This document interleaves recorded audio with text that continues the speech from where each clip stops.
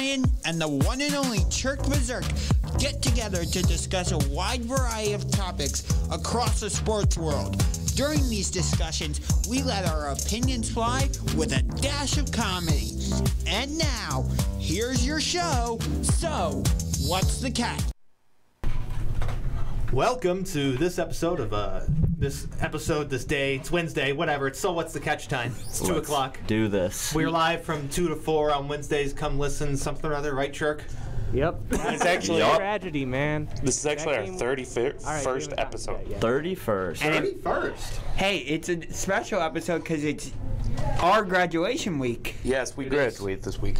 Yeah. so, Congratulations, guys. uh, yeah. Congratulations to us. Uh, kudos to us. yeah. Yay, we made us. it. We rule. Yeah. I'm alumni already, so Yeah. no big deal. So it was uh, Chirk Berserk over there in the box. Yeah, that's right. Church.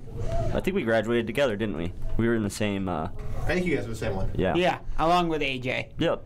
But uh, anyways, enough with the niceties. Enough with the general uh, conversation. We're here to talk sports. Here to talk Browns. Uh, let's see. We got one word reaction to Sunday's games that we have here? Yep. What is your one word it, as your one word reaction? One word. I understand the assignment. Okay. I understand the assignment. uh, it, I'll go ahead. Okay. Encouraging. Okay. I'll leave it at that. Chirk. Interview. Interview. Good word. We're gonna have to come back to that. That is a word. All right. Expected. Mmm. I, I expected that answer. Hmm. All right. Josh. My one word. Where? Okay. We'll have to figure out which one that is. Um, Uh, jeez, I'm so lost now with all those different words that mean nothing. we're, we're all, we're all over the board here. I can explain my word after. Every Yeah. word means something. I, It- I, I said meh last week. Okay. I think I'm gonna stick with meh for this. Okay. All right. Yeah. All right. Jerk. Why interview? The refs need to have an interview. I, I think at this point we need we need interviews with the refs. They need to be held accountable. Who? FBI? CIA? Secret Service? Stone Phillips. Yeah, we need we need an interview with J. Jonah Jameson. press conferences. So here, here's what I'll say: is that uh, were the refs bad? Yeah, okay. But looking at the penalty disparity between the two teams, the Browns had one more penalty than the Chargers did. Okay, They were bad both seven to six. They were bad both ways. Um, while the refs did have their fair share of bad play call, or bad penalty calls, okay, and it seemed like they're all went against the Browns' way. The Browns had their opportunities to still stop the Chargers, but they didn't. They allowed three fourth down conversions. Right. okay? The Chargers went three for three on fourth downs. The Chargers were just moving the ball with ease. Okay. Uh, I think I referred to the defense as Swiss cheese at one point, Yeah, the number that's more alarming is that they only had three third downs. or fourth downs. oh, okay. I was gonna say, did That- they only get the third down three times? Uh, I don't remember Canadian it being football. that. That leads. That leads Yeah. me to why I ca- came up. I should have said it more like this. Where? Like. As Okay, qu- question mark. Okay. Okay. Yes. That would have been nice. Some punctuation in a word. Yes. Punctuation matters. yes, it does. But I'm just like, where was the defense? Mm. That's what I mean. It's like, Okay. They were all So, injured. I mean, they they did. A lot of them did get hurt. They were all Uh, on the- Myles Garrett they were leave all the on the game at 10. one point. But I mean, let's be honest here. Um, this was a correction that we should have all saw coming. They were playing way above what their actual skill level is, in my opinion, for the past couple weeks. This is the complete opposite end of the spectrum. I don't think they're this bad. I don't think they're as good as they, what they showed before. I think right in the middle is where they're going to end up being when it's all said and done at the end of the season. so here's my other thing. The past two weeks, they played the Vik. Going into this Chargers game, they played the Vikings offense and the Bears offense. They're not the most high-powered offenses in the world. That's one way to put it. Yeah. And then in week one, they played the Chiefs defense. Or, I'm sorry. Played the Chiefs, yeah. Chiefs offense. You know what I mean. Played both the Chiefs' offense and defense. You know what I'm trying to say. I'm trying to figure out where you're going. so it's like you in week one you played a high-powered offense. Mm-hmm. Week five you played a high-powered offense, and then weeks two and three, it w- And four. and four. Thank you. Mm-hmm. You played meh offenses. So I'm not sure where this Do defense you, is. do you want to know what the common theme here is? You have an elite quarterback we faced in week one. We have an on his way to being elite quarterback that we faced in week five. Okay, you have mm. guys that are head and shoulders above all the other quarterbacks that we played in the other games. It's like not even particularly close. And you have an elite quarterback coming to town this week. I disagree with that, but uh, we'll talk about that in the next segment, I guess. But what you have is you saw two quarterbacks, Mahomes and Herbert, slice up a defense that is still a work in progress, but they're elite and on the way to being elite for a reason. Okay, when we play Kirk Cousins, Tyrod Taylor, uh, Davis Mills, uh, shout out Mills Mafia, Shout and, out. uh, Justin Fields, who was a rookie making his first start. Dream yeah. AFC championship right there. the Brown, the Browns defense is going to look good, okay, against those guys. It okay? didn't in- They're not exciting It didn't against Houston. until Davis Mills came in. And Once Davis Mills came in, it was it was easy. Yeah, but, Stunk. yeah, but you have to admit that until Tyrod Taylor got injured, we were on our way to losing that game. Oh, if Tyrod Taylor doesn't get hurt, we lose that game. A hundred percent. you think we ever lost that game? if Ty- Yeah. There, that's pointless to do. There's Yeah. so many ifs and There's- shoulds. I'm with you Again, there, If we hadn't have got this penalty, we might have won. If we Right. hadn't, I mean, Yeah, but that's fair. Well, I can- well, my only thing is, if you are a Browns fan, I, I think you have to be at least a little bit encouraged to see the offense performed a little better. Yeah. I still think at the end of the day, the NFL does not like the Browns. Oh, stop that! Get out of here. that. The NFL hates every team by that Yeah. logic. Wait. Okay. The NFL doesn't want the Browns to succeed. Hey, hey, do you know where else they have that They're always charging for a conversation? Big money. You know where else they have that conversation? They have that conversation in Detroit. They have that All the time. conversation in New Orleans. They have that conversation, in every team that hasn't won a Super Bowl, either ever or in a long time, or hasn't been successful, or having a bad spell, Right. Okay. Every team and every has bad calls against The, them. the every NFL hates the. Falcons. The NFL hates the Dolphins. It's, a, it's a pointless conversation. I agree with you that the referees have been horrible, Chirk. I think the referees have been real bad all season. Uh, but it- I just think that that happens in every game almost. You that a bad call, at least one bad call happens in just about every game. it does. I mean, I Oh. think every major sport should just have a press conference with the ref. For what? What would that accomplish, though? That would accomplish accountability. You would How is having a press conference uh, uh, uh, establish accountability? So it at just, the- it just has them saying being having a conversation. If You if you want accountability, what you do is you actually hold them accountable. Then you either bump them down from where they are if they're not playing well enough, maybe, or they suspend them or remove them from a crew. Hold on. That's accountability. Hold on. Talking, that's nothing. Real quick, I want to play this out though. questions asked to them by the interviewers. So you, uh, here's you want them to play the game maybe, and then after the game when they're doing like the coach and the the QB post game interviews, do you want them to do like a post game referee interview? Yes. Uh, okay. We'll see. Yeah, just have them up there, have them up there with everybody else. Yes. I, I think the the best thing for the NFL uh, referee ri- refer, referee wise, tough thing to say there, um, is when they're invisible, when we don't see them, and the idea of making them more visible and having a press conference and, and asking them questions through the media and things. It's like you're putting the highlight on the refs that are doing a terrible job. It's not good for the product in terms of what the Right. NFL's trying to Bingo. do. A hundred So, percent. i- It's yeah. That's I why think they're it's a real easy answer. Uh, it really just comes down to you need more replays. sure. That's, that's fair. More replays, more stuff under review. But the one thing I'll say about the referees is that, in, in terms of the Browns and the fact that they lost, control what you can control. You can't control the referees. Sure. You had multiple opportunities to win this game despite the referees doing what they did. You're Do right. not blame the referees for why you lost when you had a chance to win. Even multiple with chances to win. Multiple chances on, on both sides of the You ball think we too. Challenge penalties then. No. No. We ch- d- okay, challenge. Chirk.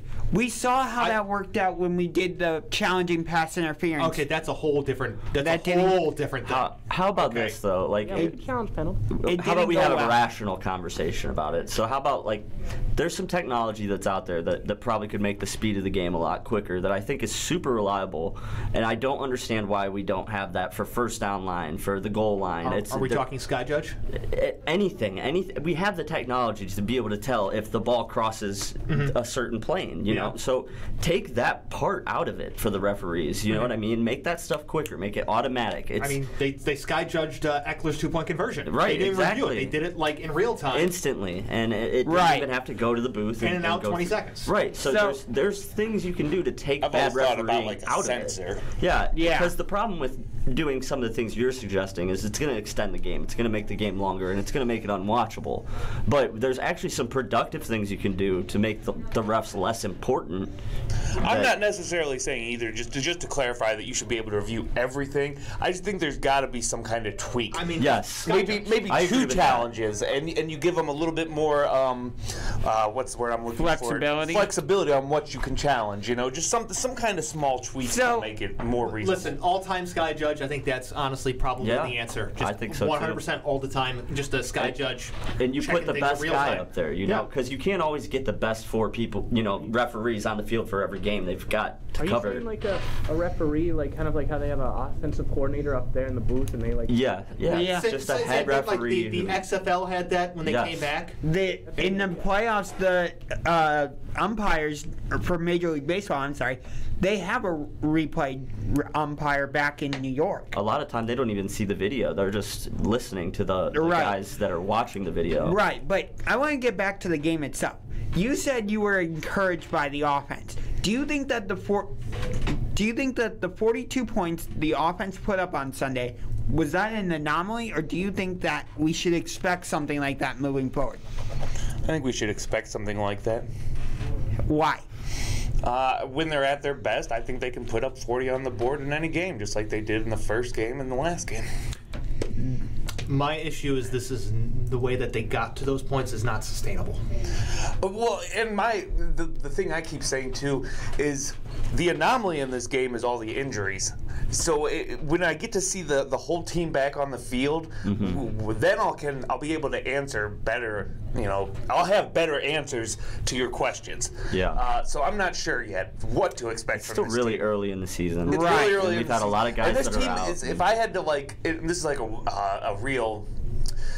uh, You could see this either way, but I'm. Uh, I think we are arguably like the hardest team to judge because we're always so different. Very difficult. Yeah. Yeah, I could see why you say that. From I'm just saying like the difference between the Vikings game and this game. Right. You know, it, it- there's Night such a, a swing, Yeah. a- and it can be any game. And the one thing I, I said last week that I hold on to is don't count them out. You know, even when we went into this game, I said I don't think they're going to get blown out. Right. Don't count them out. Which I will say I was wrong about that. Okay, uh, there are some concerns I want to bring up about the offense, but we got to head to a commercial back. When we come come back on the other side of the commercial, there's some things I want to highlight that I want you guys to at least listen and I want to get your opinions on. My name is Lola Silvestri, and I'm going to be 95 this year. I was very independent. I fell, and I had to have Meals on Wheels. America, let's do lunch. One in six seniors faces the threat of hunger, and millions more live in isolation. Drop off a hot meal and say a quick hello. Volunteer for Meals on Wheels by donating your lunch break at americaletsdolunch.org. This message brought to you by Meals on Wheels America and the Ad Council. It may be hard to believe, but people just like you are already saving money. FeedThePig.org makes it easy. Their simple savings plan teaches you how to start saving without going overboard. So you don't need to ditch the car and start rollerblading to work. I look ridiculous. You look ridiculous! You don't need to start foraging wild berries. I was skeptical, but these are actually pretty good. You don't need to sell your organs on the black market. Lie back. This is gonna hurt. Yeah, that hurts. You don't need to rent out your apartment to drifters. I made a fire with the wood in your bedroom That's my dresser! and your closet door. You just need an internet connection. Don't get left behind. Start your personal savings plan with the tips and tools on feedthepig.org. That way, you don't need to sell all your belongings and live in a commune. These dungarees belong to all of us now, Tom. Brought to you by the American Institute of CPAs and the Ad Council. Are you tired of renting, but the idea of owning a home seems unattainable? The Ohio Housing Finance Agency is here to help you realize the dream of home ownership with its 30 year fixed rate mortgage loans, low interest rates, down payment assistance, and homebuyer education designed to prepare you for your journey to home ownership. Visit ohiohome.org or call 888 362 6432 to learn more. That's 888 362 6432. This message is brought to you by the Ohio Housing Finance Agency and aired by the Ohio Association of Broadcasters and this station. It's Chirk the Berserker. You're in the Berserk box being a hard worker. We got James. Guess what? He knows all the names. Just sit back and relax. You got Unger to the max. This show will never get any lamer, because you can't find anybody as entertaining as Kramer. Now AJ, he is the true fighter. Never meet anybody who is a better writer. In this show, you don't have to worry about lying, we got a champ, and his name is Brian.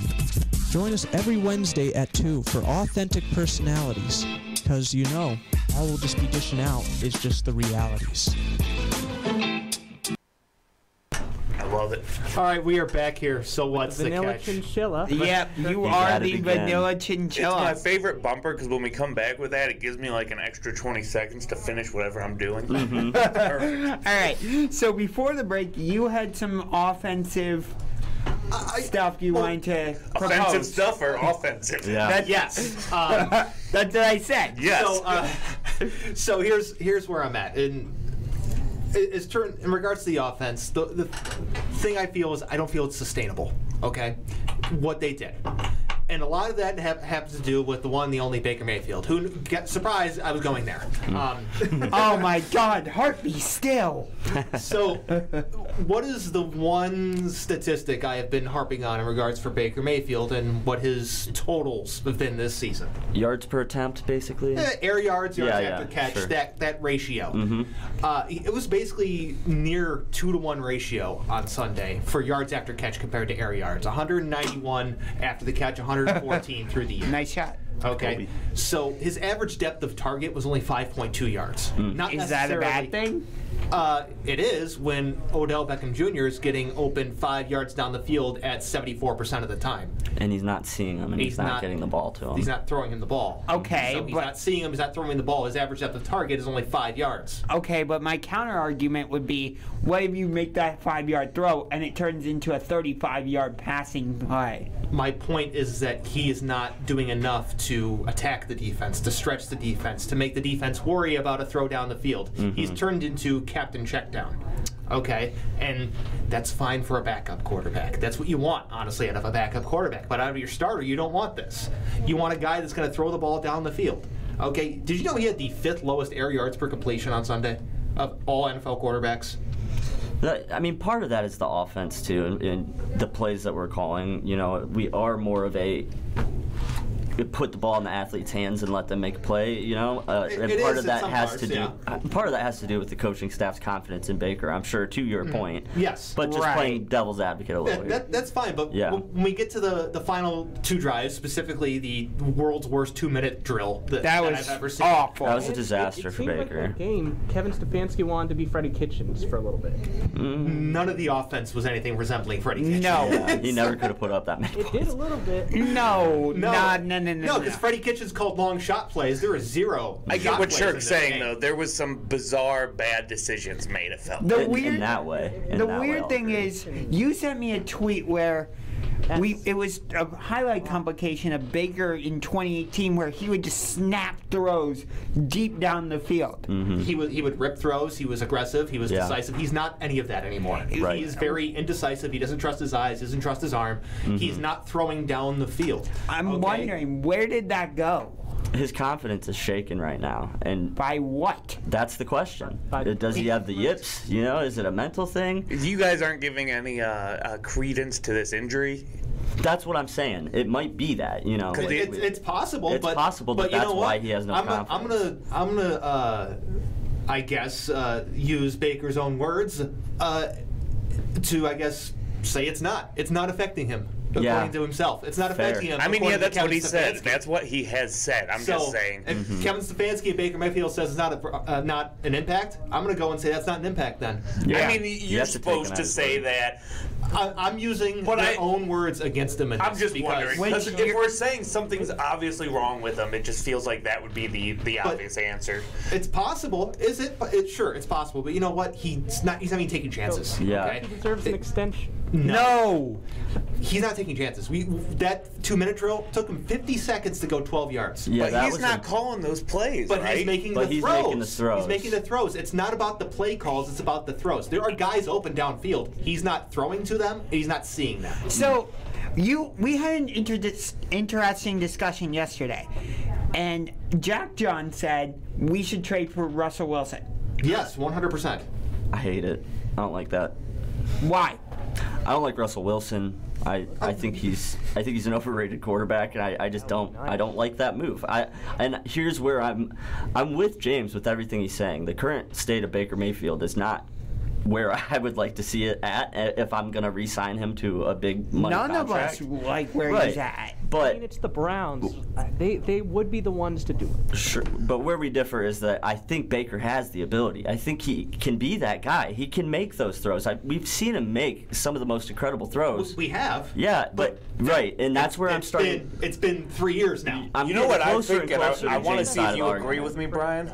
I, I, I feel like I know that Baker is the best Cleveland's gonna get. Period.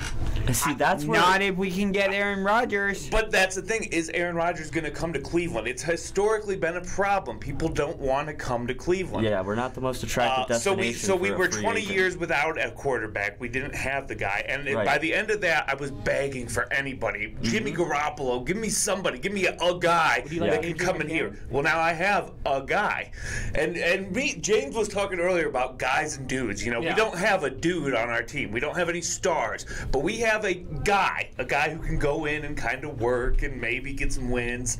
We need to remember one thing too. He's won a playoff game against the Pittsburgh Steelers, and those a lot of these other Did guys. he win that? Did he win that playoff game? They He was won the there. game, and he He started was it. He there. was the quarterback. He certainly was there. Uh, so My- yeah, that win goes to him. I'm But- just saying, I don't see us ever getting anything better. That's what I'm saying. Is like it, I, I'm with you there. I, he's the best of what's around for the Cleveland Browns right now, and that's where I'm afraid of. Like, do you not resign him? You're taking a big chance, you know. And if, if you're gonna get a guy, you need to be certain that that guy wants to be a part of this culture moving forward. Right. When I was talking to James yesterday, I'm sorry, I'll let Yeah, you you're good. But I was just saying real quick to James yesterday that you know we have a fundamental disagreement, and that's where where it really lies. Uh, James seems to think we can do better, Mm-hmm. and I think we think this is very much the best we can get. Because I agree with James. Because here's where I'm at. We we've seen the Browns play two teams, playoff teams, Super Bowl favorite in the conversation teams, in the Chiefs and the Chargers. Never mind what the current state of the Chiefs is now. Chances are they can fix some things and they'll probably be back. Okay, back to be where they're back on track, back where they're supposed to be. But um, anyways, um, so we've seen Baker Mayfield not be able to lead the drive at the end of the game against both the Chiefs and the Chargers. Right. Okay. Those are two teams again with superior quarterbacks to the Browns and Baker Mayfield. Sure. Okay. So when it comes to 100%. playoff time, if you're going to just get to a Super Bowl, you're going to have to beat what three teams with And better rest. quarterbacks just to get there. And And Worst, hope quarter, worst quarterbacks than Baker Mayfield have won a Super Bowl. they have. That's that, that's fair. But Joe Flacco. For the Browns, ago was for the? Browns to even be in discussion for Nine Super Bowl ago? with with anybody starting at quarterback is is pretty good for It- us. It's pretty good, but Yeah. I'm just saying you're gonna have to you're gonna have to beat a team like the Chiefs, then beat a team like the Chargers, then beat another team like probably the Bills just to get to the Super Bowl. They all have better quarterbacks. They all have the ability to do something that Baker did not do at the end of this Chargers game. Sure. There's one thing that you notice just ability wise is that at the end of that game when the Chargers needed a chunk play to get a ton of yards, They got it. Justin Herbert was just like, let's do it. He's a dude, man. Okay, He's good. He's just like, let's Yeah. do it. Let's just, he did that all game, just chunk yards, tons Slinging of it too, just They super had- confident. Okay, Baker Mayfield's throwing five yard dump offs. Mm-hmm. They- Okay, there's the huge difference. The prove prop. you wrong, James. What? Can Baker prove you wrong with a good game? I think it would take when he more has than, one. I think it would take more than one. It- It's going to take more than one because let's be honest, he is someone who has a wide level of variance in his play. The Yes. last two weeks is a perfect example of the Baker Mayfield experience. What he is- could be completely dreadful and he'd be uh, completely efficient. Okay, Right. he you never know what you're going to get. What It is the goes- saying you always use? He is consistently inconsistent. That's what he is. It's Yeah. no, you're hundred percent right. And the thing is, when Justin, when they, when the Chargers dialed up a shot for Justin Herbert, bang, he would hit it like the 75-yard pass play to Baker Mayfield doesn't see the guys. He doesn't. exactly. He And, but I just go back to and, and Justin Herbert or anybody who's at Justin Herbert's level isn't going to come to Cleveland. Right. I mean, That- and they're fine. I would, I would love to have Justin Herbert, I'm- but until you know that actually can happen. Right. I mean, you gotta you, you have to explore the trade market. This offseason. You have to. Mm-hmm. Okay. I think it's a And you little early to say that, but I'm, I'm almost there. Well, this offseason, we're entering final year Baker's deal. Well, no, I'm saying right now, as of today. Uh, but we'll It's see. already it week depends on how the rest of the season goes. There's still 11 more There's still, games. there's still a lot. To, there's still a lot to go, but it's just We're not even halfway. a, a lot of the. A lot of Well, the. we're halfway there. Who sings that song? Who sings that song?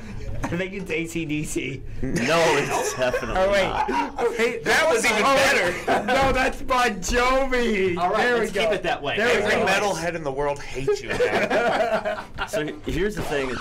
yes, perfect use. Here's the thing with There you go. elite quarterbacks and, and what what we're looking for is you want a guy that if there's more than 30 seconds left and you've got the ball with a chance to go down the field and score and win the game mm-hmm. that that you say it's too much time and if it's Tom Brady if it's Aaron Rodgers if it's Josh Allen if it's Lamar Jackson now Justin Herbert's in that Justin. Herbert that's Russell if- Wilson? if there's more than 30 seconds on the clock and that guy has the ball I'm going he's going to win it Or he's at least put the team in a position to win. I do not feel that way with Baker And Mayfield. that's right now. where that's where I'm with you. Baker is not there yet, and we need Wait, a guy that did- can be. Did anyone really say?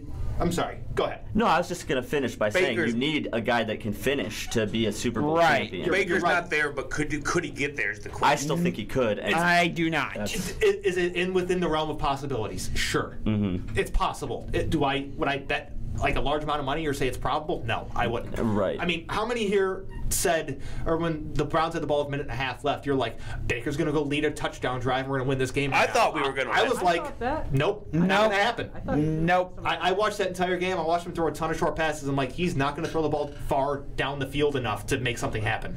Defenses aren't scared of the deep pass against the Browns. It's that simple. Well, it, would I'm be not a- nice if he would throw the ball to Odell Beckham Jr., but he's not. So yeah, the best, the the most talented player on the team isn't getting the ball. That's not good.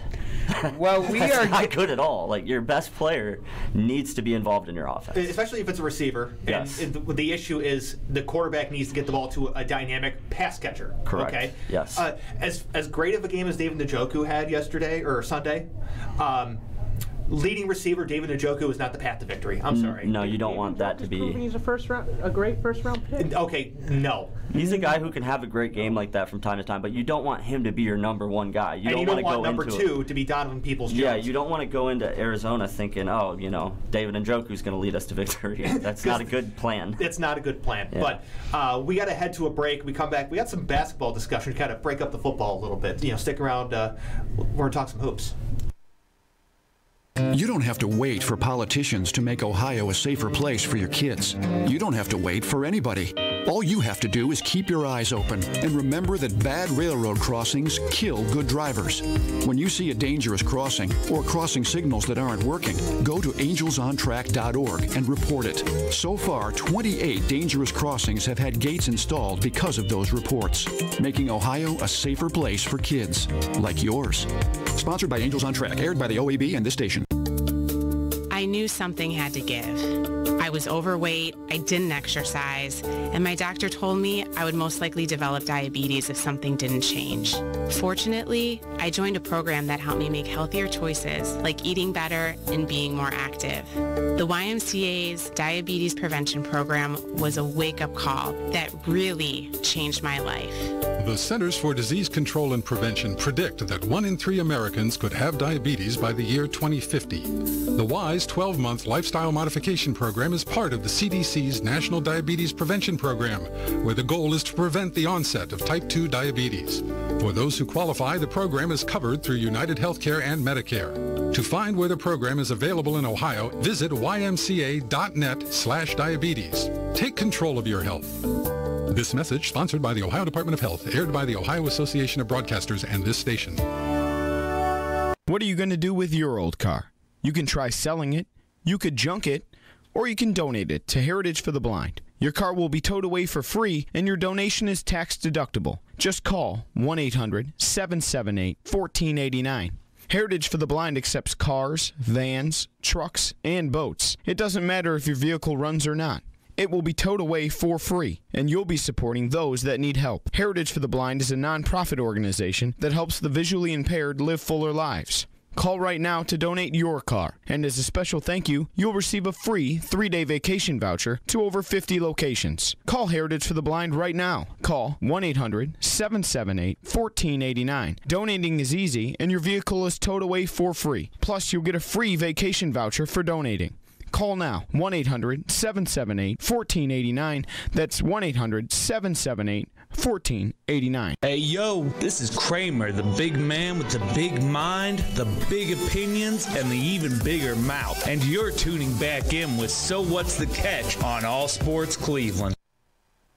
Uh, big opinions. What uh, understatement that is, because that last conversation went into the commercial break here. We kept talking. Yeah, we did. That's what happens when you have a lot of uh, Baker Mayfield opinions. That's what. That's how this just works. But anyways, it's, best. it's basketball time. Let's do basketball. Basketball. Uh, you know, uh, everyone's favorite former Cleveland Cavalier. Kyrie Irving will not play or practice until he can be what? Full participant. Full participant. Yeah, 'cause- so he needs to be fully vaccinated. That's what it is. Yes. Yes. I don't know why he's not just saying that. That's what it is. Yeah. And so, right now, he's scheduled to what miss at least half of their games Mm. because he can't play in New Jersey. Mhm. Uh, whatever. What? Or yeah, whatever. They Who should still be in New Jersey. More than though. half. A lot of the states that they're And gonna there's be a lot of playing states in, that are be yeah. going to where that's a requirement. So I don't I don't know what the exact number is, but California I imagine is one of them. So that's a handful of games there. I'm gonna just say, make a bold prediction here. I think Kyrie Irving might retire. Ooh.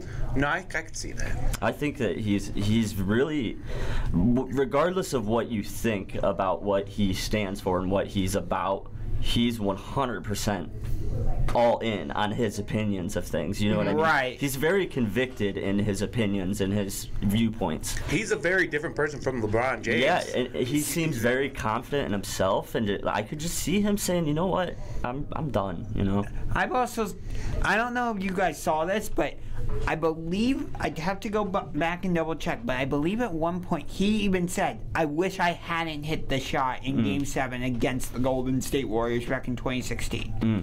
'Cause that's- Don't quote me on that, but I think I remember hearing I, that. that sounds vaguely familiar, but I mean, that's what he's remembered for. And I don't think he likes. I don't think he likes that because with the shot, it's also the block, Mhm. and so he's tied to LeBron forever. Right. Okay, and so. Oh, I'm sorry. I'm sorry, Kyrie.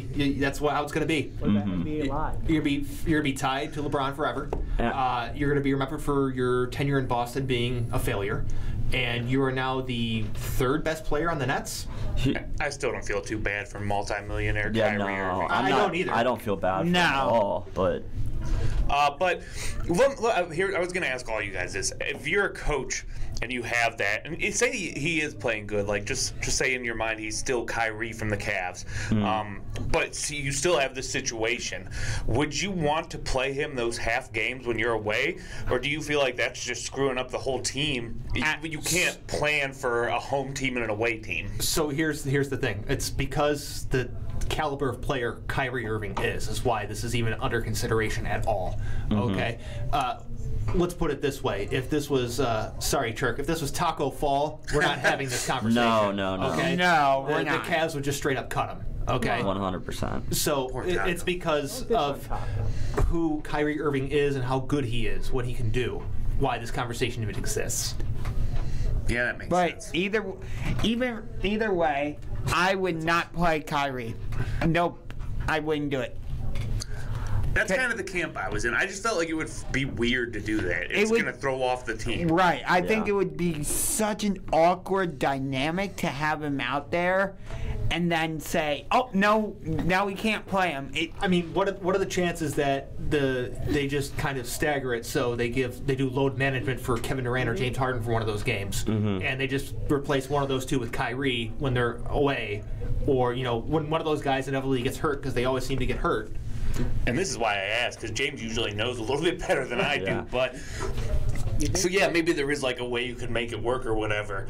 I just I don't know. It- it's, it's very complicated and it'd be a, uh, a pain in the neck to try and do. I don't think he's allowed to play or practice at all until he goes into the COVID protocols.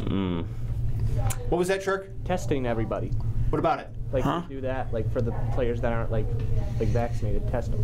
I, I don't have a problem with that, but that's So not an play. option Right. in New York. That's not an option in California. It's Right. it's be vaccinated or you don't play and you don't get paid. What about this possibility? Does he demand a trade to a team that's in a place where he can play home games? Hello, Cleveland. Yeah. What if? no, seriously. uh, That that's went through my mind. What if he? back to Cleveland? What if he demands a trade back to Cleveland?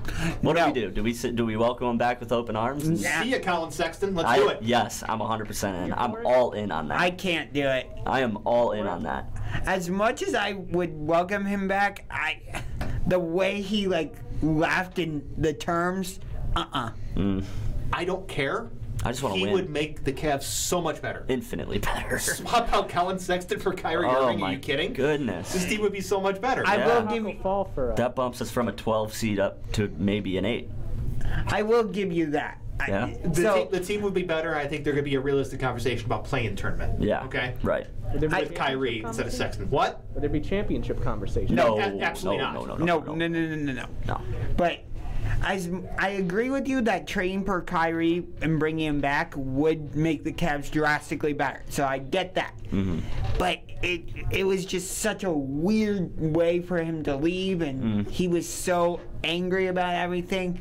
Like it even took me a little bit of time when LeBron re-signed for me to fully embrace him again. It took me exactly zero seconds to embrace him once he came back. Yeah, it didn't okay? take me any time. so Listen, I, I drove to my parents' house where my LeBron jersey was in storage because I'm like, maybe He's one of these someday, days. someday.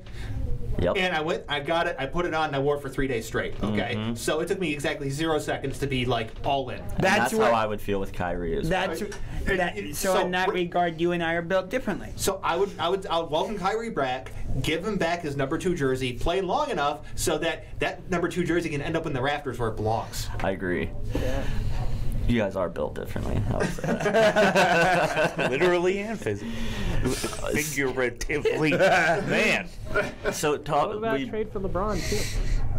Bring the band back together. Let's Yeah, do it. let's Let's, do get, it. Yeah, let's let's get get the band back Smith together, out man. from playing golf and uh, Sure. James Jones no longer the Phoenix Suns GM. We can have Champ on the bench again. shout Amon- out, shout out JJ J.R. just doesn't Smith. get the ball in the last minute of the game, period. Yeah. Iman Shumpert Jump comes. in. All right. Iman Shumpert comes back from Dancing with the Timothy Stars. Mozgov. Oh boy. Oh, jeez.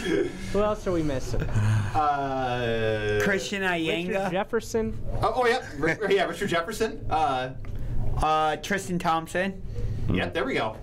Okay. Now we're really getting them Let's, together. let's get the band back together. All right. Let's, So speaking of the Cavs, Dahntay Jones. Oh, we got a throwback now. Uh, let's get uh, uh, Jamario Moon. Oh wait, uh, he's got some other issues. Oh well. yeah. let's sure get. Anthony Parker. So what do we expect from the Cavs this Yes. season? What do you expect from the Cavs? I'm thinking 30 wins.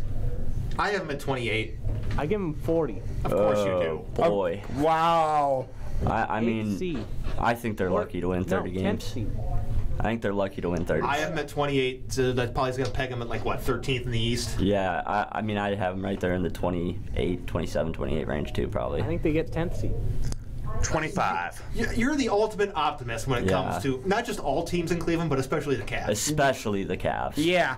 Look, I succeed. look. I want the Cavs to get get into the play-in tournament. I want playoff basketball back because I'm not even going to deny this. The Cavs are my favorite team in all of sports. No doubt about that. Interesting. We got But the big man roster. What? We got the big man roster. Mm, Yeah, that's, that's really good when the other team just you know throws out five guards. We got a lot of rebounding in case the, those guards missed it. right. So you know we're playing the Warriors and there's drained threes, so it's going to come in handy. Yeah. I mean, All those missed threes that they have. you got some defenders who could guard the three. They're going to triple around him and set screens. Come on. Mm. I mean, then you just you just have to go around those screens no. and not have Darius Garland going around those screens. Just go around, guys. Just go around. yeah, just go around. Just go through them like you're Albert Belle blowing up the base path. Oh okay? my goodness. Great memory. I love that. that is a good memory. oh, jeez. No, I just I don't I don't see the Cavs as being anything remotely relevant. Okay, uh, I'll, I'll probably pay attention to them closely until about January, when they're like 10 to 15 games below 500 by then, and then I'd be like, when I got spare time. This team roster would be funnier if Drummond was still there. They would be better if Drummond was still here. Much better if Drummond was still here. You think? Yeah. Eh. Not Hold on, hold much, but He- Hear, hear, hear me out. Andre Drummond's a floor raiser, okay? He gives you a certain level of, of play night in, night out. mm, yeah. Okay. You know what to expect from a guy like that. Exactly. That's And true. When he was on the team before they decided to bring in Jarrett Allen, then you know exile him to Elba like his Napoleon. Mm-hmm. Okay. they were playing good. It wasn't sustainable. Don't get me don't get me wrong, but they were at least competitive night in night out. They were at least watchable. They, They were, were. a cohesive unit. Mm-hmm. What once they removed Drummond, put in Jarrett Allen, it, it all fell apart. Yeah, I agree. Because Yeah. Jarrett Allen's young. Jarrett Allen's not that good. He's only 23. You, you paid a, a center who should be a backup at best $100 million. Yeah, that's bad. That's a mistake. Bad, bad, bad. He's not that good. Yeah. Why did we do it? I don't Because know. the Cavs don't know what they're doing. Okay? I think the NBA is still mad at the Cavs for going to four straight NBA finals because we got screwed in our schedule.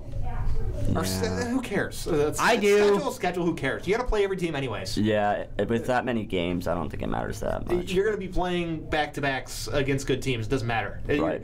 You can't play literally the Cavs every night. No. Okay. You can't play uh, the Kings followed up by the Magic. You're, you're going to end up playing Lakers and Warriors back to back. You're going to end up playing, you know, those will be uh. Nets and Celtics. Yes. It's going to happen. We have Lakers Suns on a back to back. Then we have Nets Warriors on a back to back. It happens. I don't know what to tell you. We got screwed.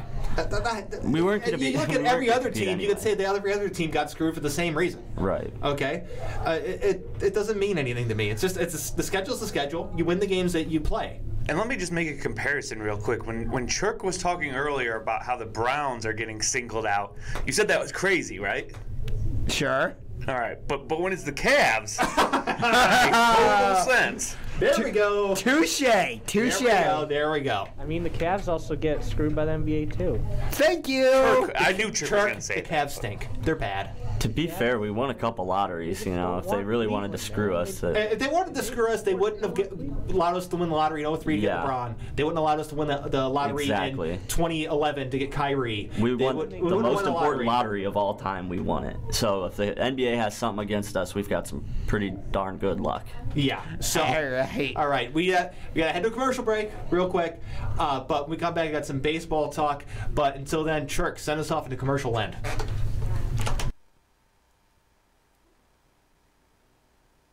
Are you thinking about buying medicine online? A search for online pharmacies yields more than 20 million results. But which ones can you trust? Medicines bought from unlicensed online pharmacies can be dangerous. You may get a fake drug, your condition may get worse, or you may experience a bad reaction. Don't put your health at risk. To learn how to find an online pharmacy that's safe and legal, visit fda.gov slash BeSafeRx. A message from the U.S. Food and Drug Administration. Most of us like to be out in the sun. That's why sunscreen and other safety measures are key to protecting your skin from aging and cancer. The FDA recommends using a sunscreen with an SPF of 15 or higher. Also, look for broad spectrum on the label. That means both harmful ultraviolet A and B rays are blocked. Remember, SPF plus broad spectrum equal healthy fun in the sun. Visit www.fda.gov slash sunscreen for more information. A message from the U.S. Food and Drug Administration. When I grow up, I want to be a new pair of blue jeans. When I grow up, I want to be a kid's first computer. When I grow up, I don't want to be a piece of garbage. And if you recycle me, I won't be. Give your garbage another life. Recycle. Learn how at iwanttoberecycled.org. Brought to you by Keep America Beautiful and the Ad Council. Creando conexiones durante la recuperación de un trastorno mental y uso de sustancias pone toda la fuerza de la familia y comunidad apoyándole a usted, ofreciendo apoyo y esperanza. Únete a las voces de la recuperación, fortaleciendo familias y comunidades.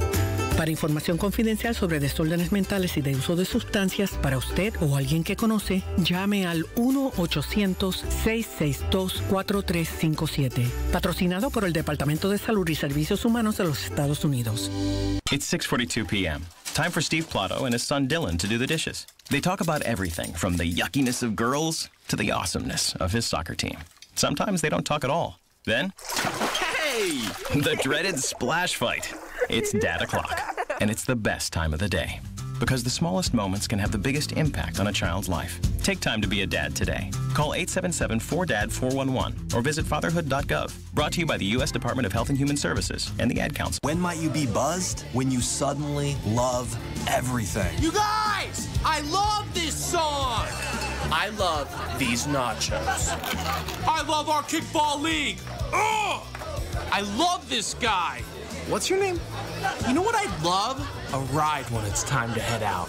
If you see a buzzed warning sign, call for a ride when it's time to go home. Buzz driving is drunk driving. A message from NHTSA and the Ad Council. I love your car. Is this real leather? You've never experienced anything like this before. From insight to comedy to whatever Chirk Berserk is doing. This is So What's the Catch on All Sports Cleveland.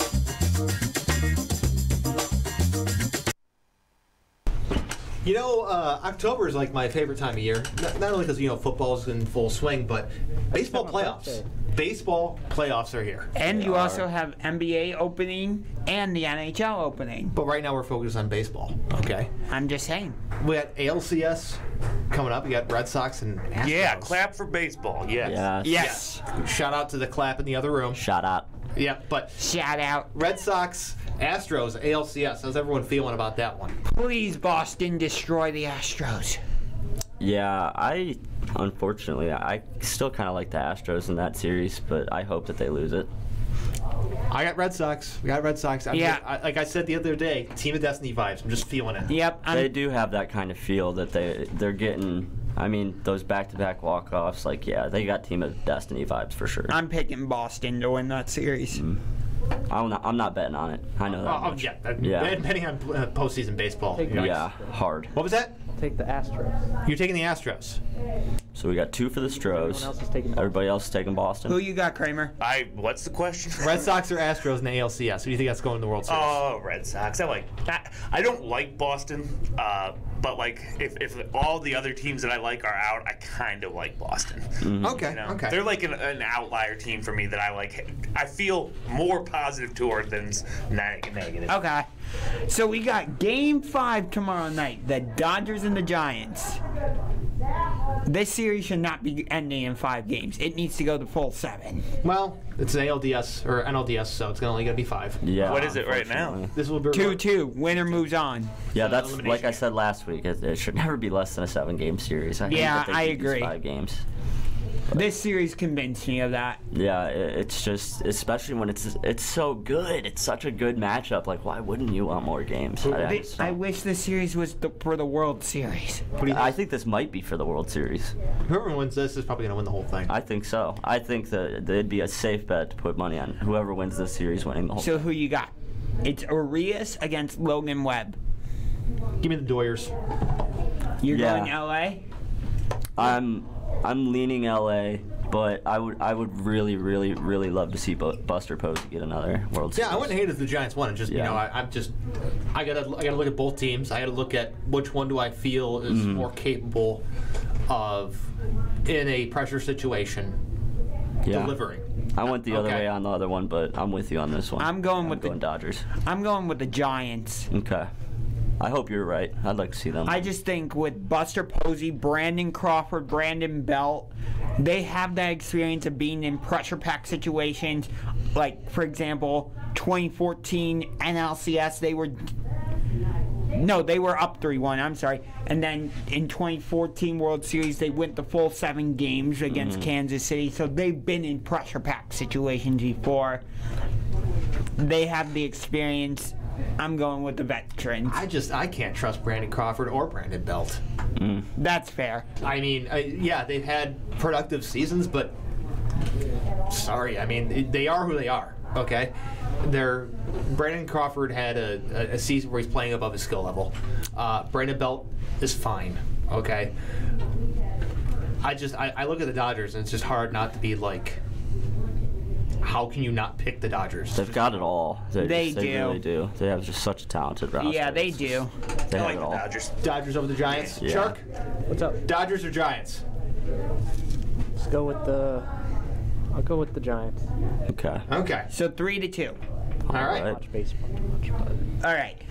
So What did you think of that White Sox Astros series? I personally enjoyed it. Even I wish the White Sox had put up more of a fight than they did. Uh, good riddance to the White Sox and John Cusack. Yeah, I say good riddance to the White Sox. I don't like them. I don't like the Astros either, though. So I wasn't really. So rooting what do you guys have against the White Sox? They're a divisional rival, and everybody else in the world does not like their divisional rivals. But you seem to be fans of every one of our divisional Uh, so let- rivals. let- let's- hold on, hold on, hold on. I'm, I'm gonna, I'm, I'm putting you in the hot seat right now. Okay? Yeah. I do not like the White Sox. No. No, I'm not gonna say you're right, like the White Sox, but here, here, here's why I'm gonna put you on the hot seat. Okay, you're, you're a fan of the what's going to be the Guardians, correct? Yeah. Uh, division rival of the White Sox. You also happen to be a Cubs fan who is the crosstown rival of the White Sox. Yes. You can't like or root for the White Sox. Yeah. I don't. Ask White Sox, White Sox Dave that. Exactly. I never said I liked the White Sox. Uh, listen here, John Cusack. Uh, you can't root for the White Sox. I the only reason I was rooting for them was because they were playing Houston. I just I don't understand ever rooting for a division rival. You don't. Ever. You can't. I In a million years. I hate the Astros too. Yeah. Okay. But I'm never going to root for the White Sox to win Yeah. over the Astros. Even Just if the- don't do it. Even if it's the Astros. So you're saying I should have stayed neutral? You stay neutral. You hope that whatever team wins this series loses in the next round. Fair enough. That's the way I looked at That's it. That's the way I looked at it. I wish they both could have lost that series. Yeah. Yeah. All right, I get it. Braves Brewers. What the hell happened? Nothing. What the hell happened? Braves won.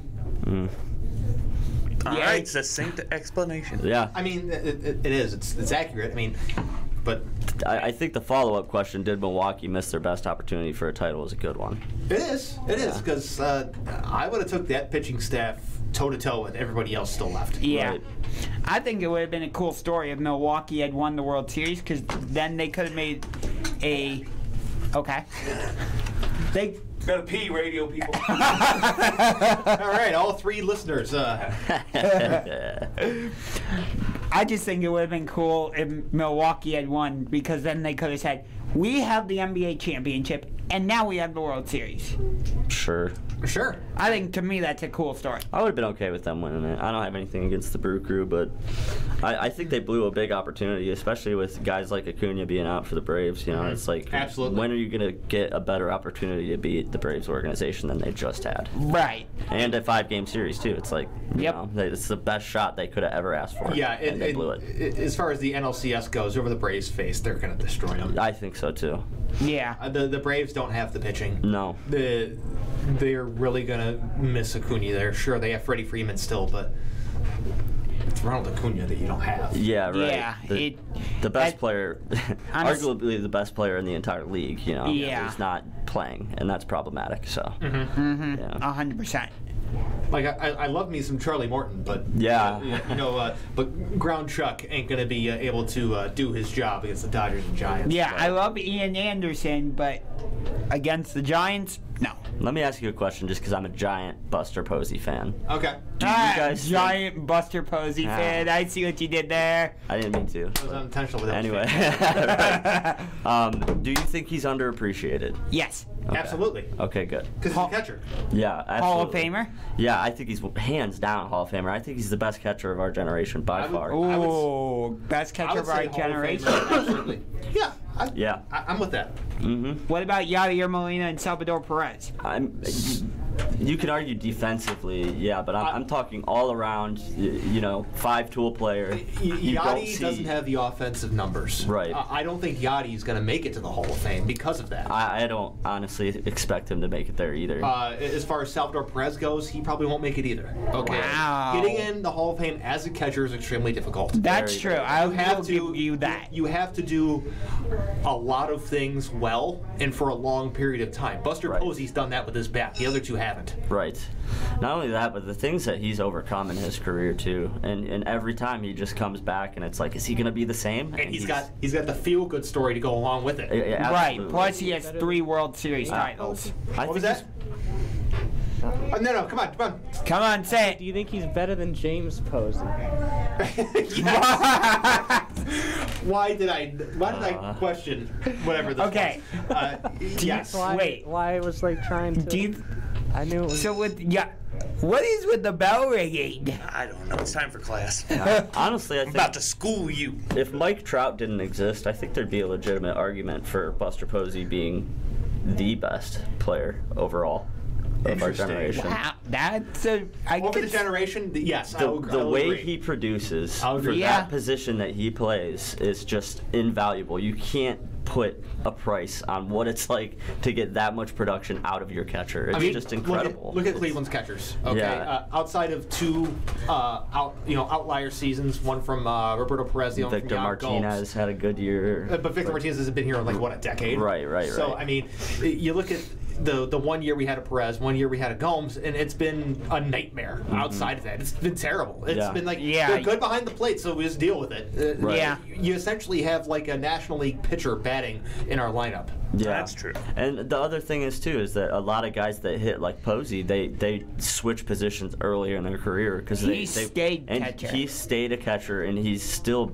had the longevity that he's had. It's amazing. He's he's a freak of nature in my opinion. So, you both said Yadier Molina is not a Hall of Famer. You don't think his two World Series no, Series? I said he might not be a Hall of Famer. I say I say he's not definitively. You don't even with the two World Series rings. no, you don't think that did- means did anything. Not do enough with the bat. Yeah. You have to do. You have to hit a certain level of production with the bat to get there. I just don't think he's there. I, I, and I'm pulling, like up his, I'm pulling up his stats. It's like a guy like Omar Vizquel. Is he a Hall of Famer? There's probably plenty of people who not- have rings and just aren't Hall of Famers. That's true. Right. But I my would- point with Omar is like, you know, it, it's hard to argue there's ever been a better defensive shortstop I would him, just say- but he's not a Hall of Famer Right. because he didn't produce at the plate. I so would. I'm, I'm looking at Yadier Molina's Okay. uh, numbers here. Uh, 280, 330, 402 slash line, 733 OPS. That's that's pretty good for a catcher.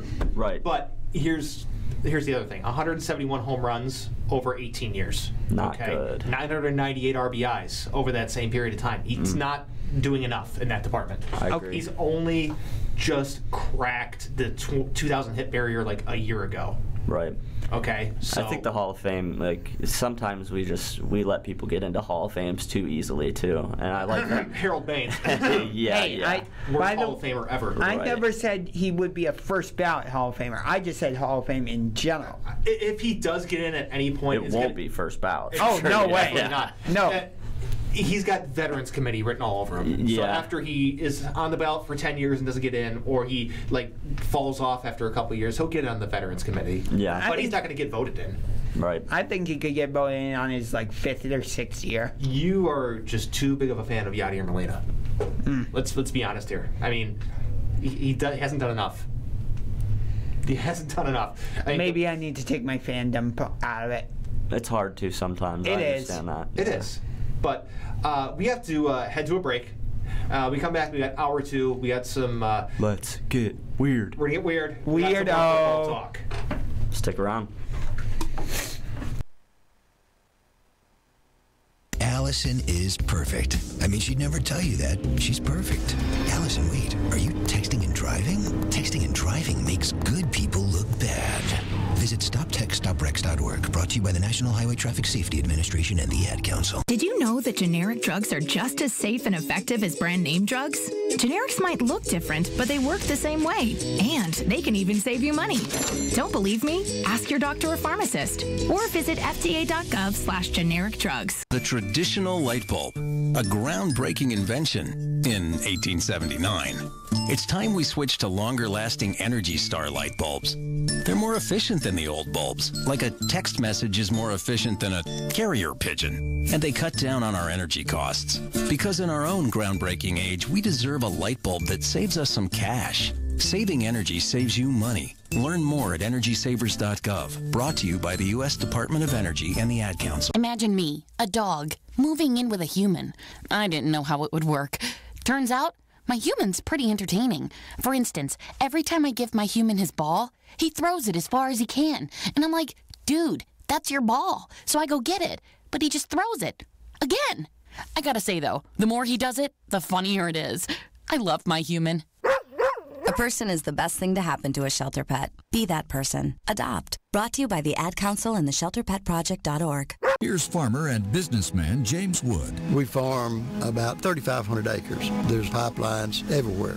The contractor working on my property did not have the lines located before he began work, and it resulted on a strike on a natural gas pipeline. Fortunately, no one was hurt, but it could have been much worse.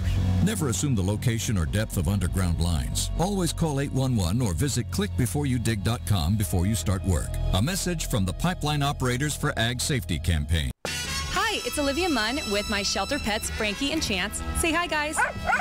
When I adopted them, I discovered that they both have incredible personalities. Chance's sole purpose in life is to love and to be loved. Frankie is a little bit of a scoundrel and always entertaining. They're a little bit of a lot of things, but they're all pure love.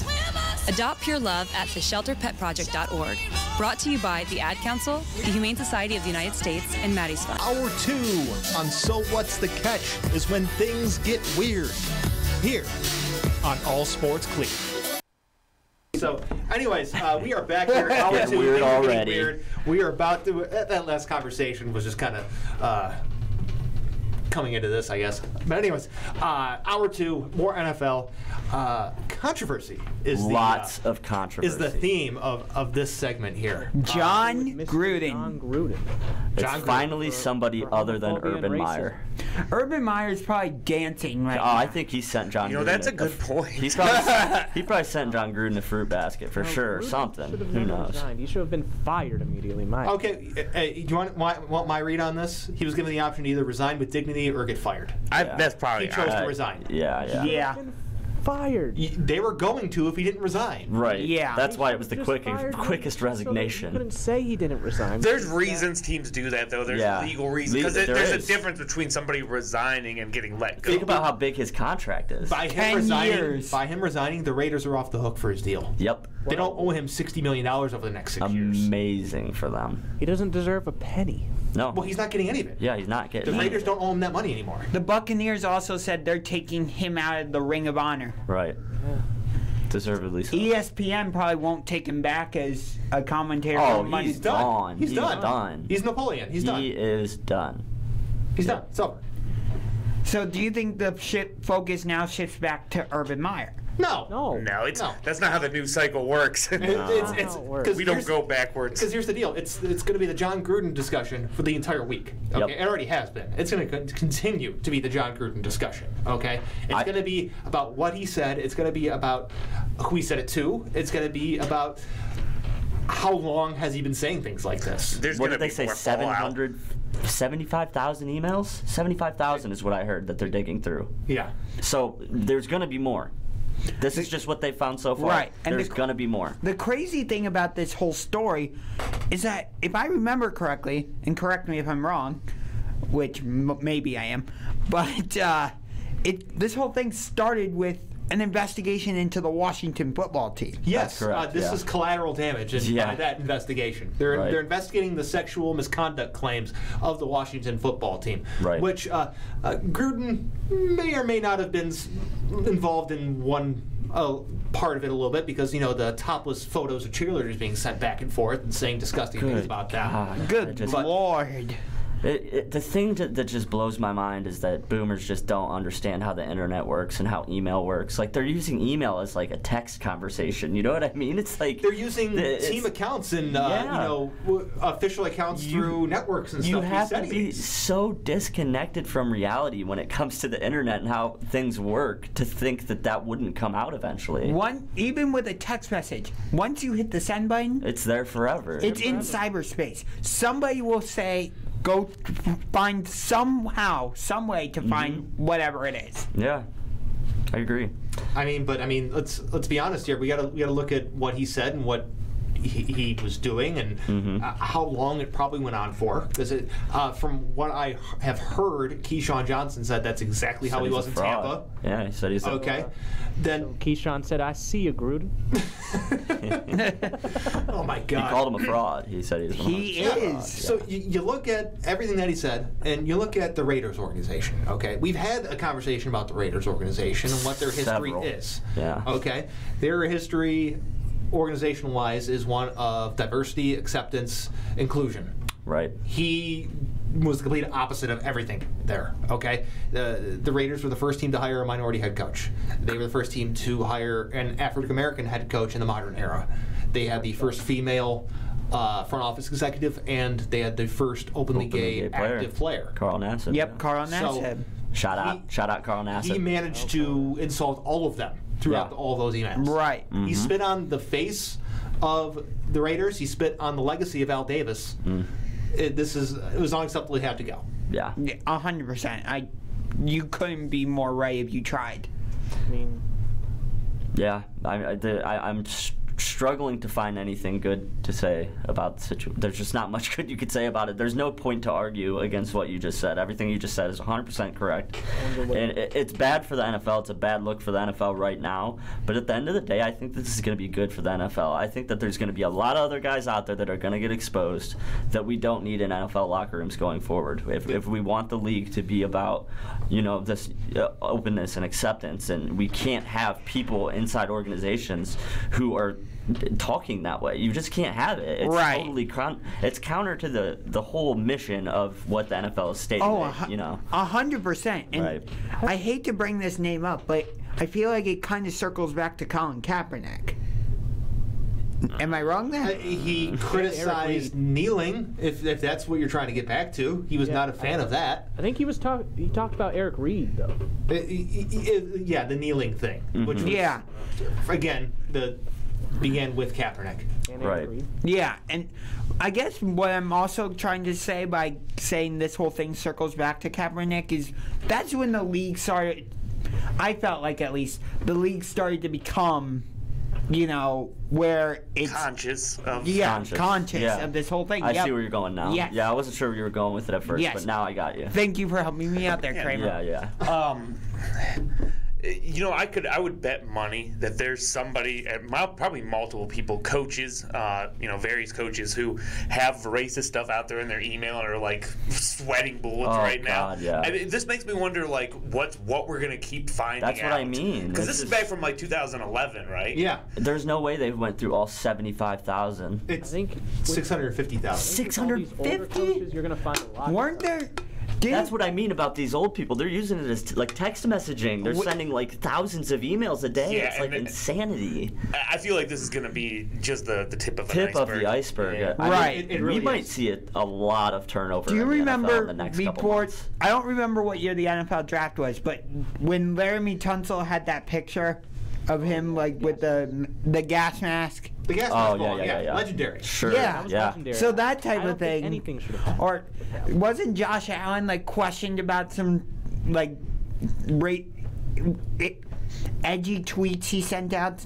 Oh, they were racist. Yeah, he said some racist things. They're, they're racist things. Right. So th- that's what I'm trying to get at. Well, well, right, but when you look at it being said by a teenager, And- as opposed to a full-grown adult, you know, like Yeah. there's, there there's is a a difference. difference. There, there. there is a difference there. One, two. When we're looking at it from uh, the aspect of a Jon Gruden, from the aspect of other executives on teams, these are guys in positions of power, Right. Who are determining whether or not certain individuals have jobs or not. Okay. Right. Let's not forget. Marquette King was quite was uh, cut by the Raiders because Jon Gruden didn't like him. Okay, he was the best punter in the league when the Raiders cut him, and he hasn't got a job since. Oh yeah, that looks rough now. Yeah, that's okay, a bad that, look. that looks really bad right now, doesn't Looking it? back on it And so- now, the Marquette King thing did not age well. It, it didn't No. Wasn't aging well. I it wasn't ever gonna age well. No. but yeah. So you look at that and it's like, okay, this is a big issue. Then you look at the fact that these guys are supposed to be the leaders. They're supposed to be the the examples, the faces of these franchises. right. You can't say that.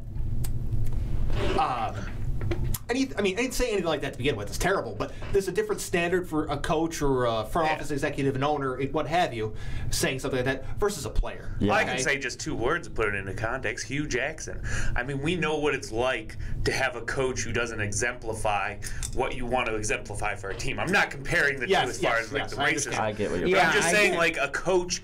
Uh, the coach is so important that having a bad coach can can make a whole team blow up. Oh, We've yeah. experienced that. Freddie Kitchens. Freddie Kitchens, Hue Jackson. As far as owners saying stupid things, uh, we can look to the NBA. Donald Sterling. Yeah. Oh I mean, yeah. that was an all-time bad look. Yeah. Okay, and he was forced to sell his team. Yeah, coaches are important. They, they should be held to a higher standard. It's a high what standard. I'm getting at. Yeah, they're faces of the franchise. They're they're uh, they are the guys that you're supposed to be looking to for leadership, uh, direction, and you can't have. I mean, it was very obvious that once the, the second round of emails got released, that he was done. Yeah. All I'm all I'm trying to say is again, I'm not comparing Jon Gruden to Josh Allen or and vice versa.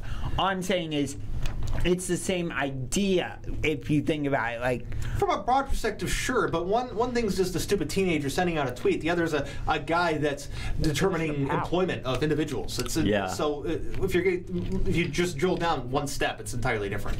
Yeah, people's livelihoods are depending on their decision making. And they're saying racist, misogynistic, Yeah. homophobic things. People's livelihoods aren't hanging in the balance of a 14 year old's dumb tweet, you know. In order for Jon Gruden to, I think, ever be forgiven, he would have to do a tremendous amount of activism. Oh, he will never be forgiven. Are you No, kidding? he's done. no, so. he's done. The only case he could be forgiven. He's done, Zoe. He would have to do. I, I a can't lot say more. what. Here, here's what. Here's what I'll tell you. I can't say what I said about Jon Gruden on radio, but uh, expletives, expletives, expletives. Okay. Yes. Uh, when I saw what he said and s- and, and wrote an email. Mm-hmm. So, yeah, I didn't say anything positive about Jon Gruden, and he did not deserve to, anything positive. He said. No. No. Uh, real quick, we, we only got a couple minutes, but I just wanted to mention this. Uh, uh, another collateral damage from this investigation. Adam Schefter uh, sent an email to Bruce Allen about a story that he was doing, and um, for changes, tweaks, uh, ways that he wants it worded, and refer to him as Mr. Editor. Uh, Journalism 101, this is a big no no. Yeah. You, you don't do that. Mm-hmm. Not at all. It's not a good look. No, it's not. Uh, and if uh, if you've checked Adam Schefter's mentions today, oh, they are hilarious. Oh, uh, yeah. Everything he tweets today has been, oh, is that? Did you send that to uh, Bruce Allen? Did Right. you send that to Mr. Editor? Well, how's Mr. Editor feel about this? Right, right. Good As lord. it should be. Good job, internet. That's one of the times when the internet can be entertaining. Every now fun. and then, like the internet, it wins one for the for the little guys. Oh, yeah. yeah. But uh, yeah, uh, so message to anyone uh, in this room, but anyone listening, uh, hopeful journalist in the future, don't do that. Yeah, don't do that. No, that. don't do that. Not a good, not a good look. No. No, you, that's that's that's a big no-no. Uh, to make sure to get the right phrasing, Yes. to verify information, that's one thing. Changing the story and making tweaks and calling Yeah. the person Mr. Editor, no. Just in general, like I hope any, and this is pertinent to us now graduating, people going into this kind of field need to understand you have to have a level of integrity, and and there was no integrity in that move. Hundred percent. Hundred percent. None. we got a platform here where we can like just say, like how we feel and be able to make a difference. Shefty's a Michigan guy too. I'm really disappointed in him. Oh, well, Okay, oh, oh, that's makes a, sense. That's a, it's Yeah. a shame on the old uh, Michigan man there. Yeah, not a good look for the university either. Oh, Wait. Oh. Michigan man. I know. Michigan man of integrity? Question mark? uh, question mark. Question Put mark? a question mark next to his name. I, don't- I have no problem with that. All right. All right. Well, we are going to head to commercial land, but I just thought of Right literally, into Jon Gruden. literally, we would put a question mark by his name. It's just gonna be Adam Schefter. anyway, it's a commercial. let's go to commercial land. A lot can happen in six seconds. A rodeo ride, a dramatic basketball win, and the world record holder can solve a Rubik's Cube. Six seconds is how long it takes for an 18 wheeler traveling at a safe speed to come to a complete stop. And in those six seconds, that truck will travel the length of two football fields. So please, give them room. Never cut in front of a large truck for any reason. Our roads, our safety. Learn more at sharetheroadsafely.gov. Bad theater seats, cheap Halloween masks, my apartment, all things with obstructed views. Add to these large trucks and buses. 18 wheelers and large buses have big blind spots, and like my apartment, they don't always have the best view. Bus and truck drivers deal with blind spots around the entire vehicle. Always take care not to ride alongside or too close behind them. Our roads, our safety. Learn more at sharetheroadsafely.gov. My dad came to live with us last month, and you know, it's going pretty well. I feel like I never have time for myself. With him being around more, it really lets us catch up on things. His memory isn't what it used to be. We get up and we have coffee. He usually wakes up at 4:30. Then we go for a walk. He needs lots of my attention. I do need to keep an eye on his medications, though. That's important. Sometimes I feel like a pharmacist. I'd say John and the kids are adjusting. Pretty well. They honestly have no idea what I'm going through. It can be a little challenging, Help. but so far so good. I could really use just a little help. For those dealing with the daily struggles of caring for a loved one, we hear you. That's why AARP created a community with experts and other caregivers for advice, tips, and support. Together, let's help each other better care for ourselves and the ones we love. Visit aarp.org slash caregiving. A public service announcement brought to you by AARP and the Ad Council. Hey guys, bow season's right around the corner, so get out to PJ's Custom Archery and Lapidary Shop. PJ's make custom bows to fit anyone. They also make takedown survival bows and flint knives as well. Ladies, PJ's has custom made jewelry. You'll find unique, one of a kind bracelets, pendants, earrings, and much more. PJ is a real craftsman with an artistic lair. PJ only uses materials found or made in the USA. So hurry out to PJ's Custom Archery and Lapidary Shop, located at 112 Leonard Street in South Amherst, or call 440 986 0490. You wanted the best? Well, too bad. You're stuck with us. It's So What's the Catch on All Sports Cleveland. It's one of my favorite bumpers. That's one of my favorite too. And yeah, we are. You guys are stuck with uh, with us, but uh, you're only stuck with me for 15 more minutes, as I got to leave at 3:30 today. But uh, let's go with uh, let's start. Let's do this last segment here. College football. All right, let's talk about it. Alabama goes down. What about Cincy? What about I told you Cincy was legit. Oh come on, Cincinnati just hasn't been found out yet. I would like to go back to I think it was my first episode on the show saying that this college football season could be just be absolute chaos and insanity. Oh no, that's definitely for real. Mm-hmm. Yeah, Yeah, and- that's 100%. And that's where we are at, and I think that more is to come. And there is. Yeah, and, and I think it's good for the game, honestly. I mean, I think people are tired of seeing Bama just win every year, every other year, and oh, it's Oh, and good for the game. It's exciting right I mean, now. f- four of the teams in the Big Ten they're, that are in the top ten Yeah, are going to play each other. Yep. Okay, so it's we're gonna, find out. Yeah. That's going to be a, a whole just spin cycle of nonsense. yeah, this happens. top ten as it stands will not look the same at the end of the year. Oh, no it way. won't. Right. Uh, you know, and you know Iowa. Uh, Iowa's fun at two. It's it's cute, Yep. but where's the letdown? Come on, we, we know where Their it's coming. offense stinks. It's it's bad. Dreadful. I will concede that they beat us on Saturday. It- yes, it- they did. If you love football in 1942, Iowa's your team. Right. It sucked to see Clifford go down because Penn State, you know, I I think that they would have won that game. Yeah, we probably would have, but I. I just uh, I'm not not impressed by Iowa. I mean, I know their defense is great, but it's just like they're not going to put up enough points to hang with any of these teams. I mean, come on, what, what are the chances Iowa loses to Purdue this week? Uh, it- Uh, I mean, Letdown game? Yeah, there's a good, there's a good chance. I think that this is a very good trap game for Purdue to go. You know, make the upset happen. That, that's what Purdue does. They just screw up good team seasons. They do. It, it seems like the Indiana teams. Indiana does it once in a while too. They'll be one of the best teams in the Big Ten out of nowhere. Yep. Anyway, yeah, I think it's great for the league. It's, it's I don't know how good it's going to be for the Big Ten over the next couple weeks because we're going to see a lot of turnover and a lot of change, and um, but we're going to find out. We're going to find out a lot about these teams in the next couple weeks. I have to reassess and re like reassess and relearn Penn State because I feel like the offense is going to look a lot different with Sean Clifford out. So, Mm-hmm. and I don't know a lot about our backup quarterback. Uh, I did not Did hear not good look things. good. Yeah. I didn't hear any good things, and I definitely didn't see any. Yeah, I was, you know, in post game, I was trying to say like the reason Penn State lost was because of the backup quarterback, but yeah, I can't.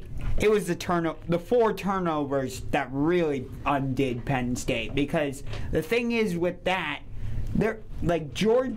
It was Oklahoma who put in their backup quarterback because Spencer Rattler Mhm. wasn't doing well, and guess what?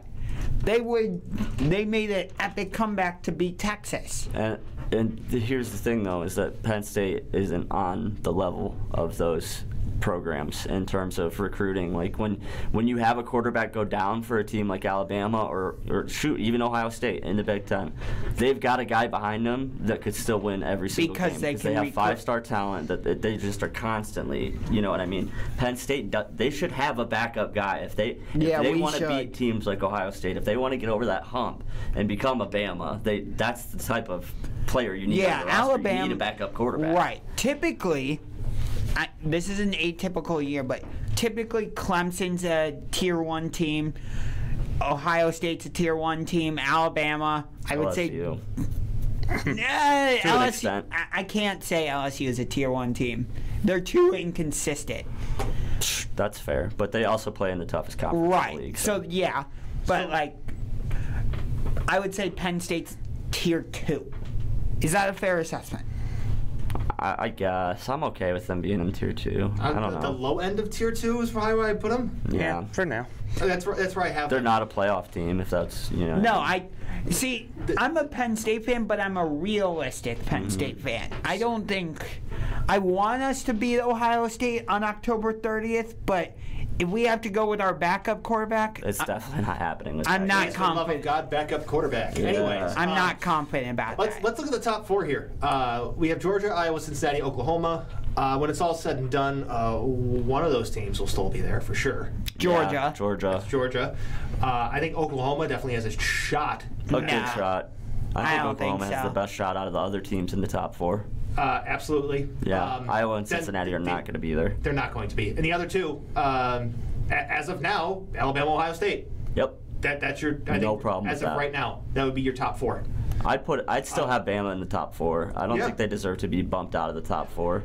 I, I think it's fine bumping them out of the top four for now, just Right. because we, we know how this, we know what's going to happen. Yeah, we know They're- what's going to happen. They're, going to work their way back up to the they're top. gonna get yeah. their ba- all the way back to the SEC title game. They'll Mhm. they'll they'll beat Georgia. Georgia will drop down to four. Alabama will be like two. Yep. And then the final four will be, uh, you know, Winner of the Big Ten.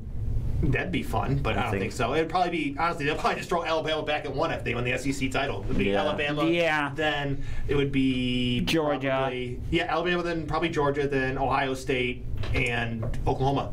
As of right now, yeah. I don't Yay, disagree with same that. old, same old. I wouldn't be surprised. I don't want that. I at all. don't. But here's the thing. Like I said earlier, like I, I still think more chaos is to come. I think Sure, there's So- chaos on the horizon. Yeah. there really is. it could be totally different. Right. We might see a top four. We might see teams we've never seen in the playoff before, and we might see teams like Alabama not. Cincinnati has no chance. I Yeah. completely disagree. I, with know you. you. I know you do, but I'm telling you, Cincinnati has no chance. even if they, Look- I did, I don't think they belong. So here's the look at the programs that are right on Cincinnati's heels right here. You Mm-hmm. have Oklahoma, Alabama, Ohio State, Penn State, Michigan, Oregon. Oregon still is even in the mix. Okay, Mm-hmm. you have teams with a certain pedigree. Yes. Even if that pedigree is second tier.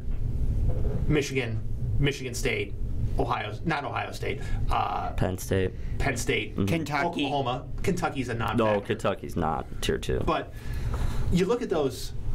Do you know why Alabama gets in all the time, even though they probably shouldn't get in sometimes? You know, shout out the year they didn't win the SEC title, so got in four. Right. It's because it's Alabama. Yeah.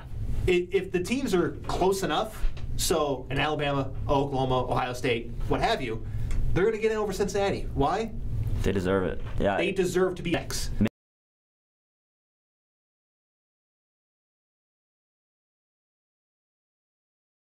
Make an argument. Don't I, I say a better argument for you wouldn't be Cincinnati to be in the top four, but maybe to expand the playoffs so a team like Cincinnati gets a shot. I, I can I agree with you there. I think it'd be better for the product as a whole if a team you know could get a shot. I don't think that it's. I mean, more often than not, they're gonna get blown out.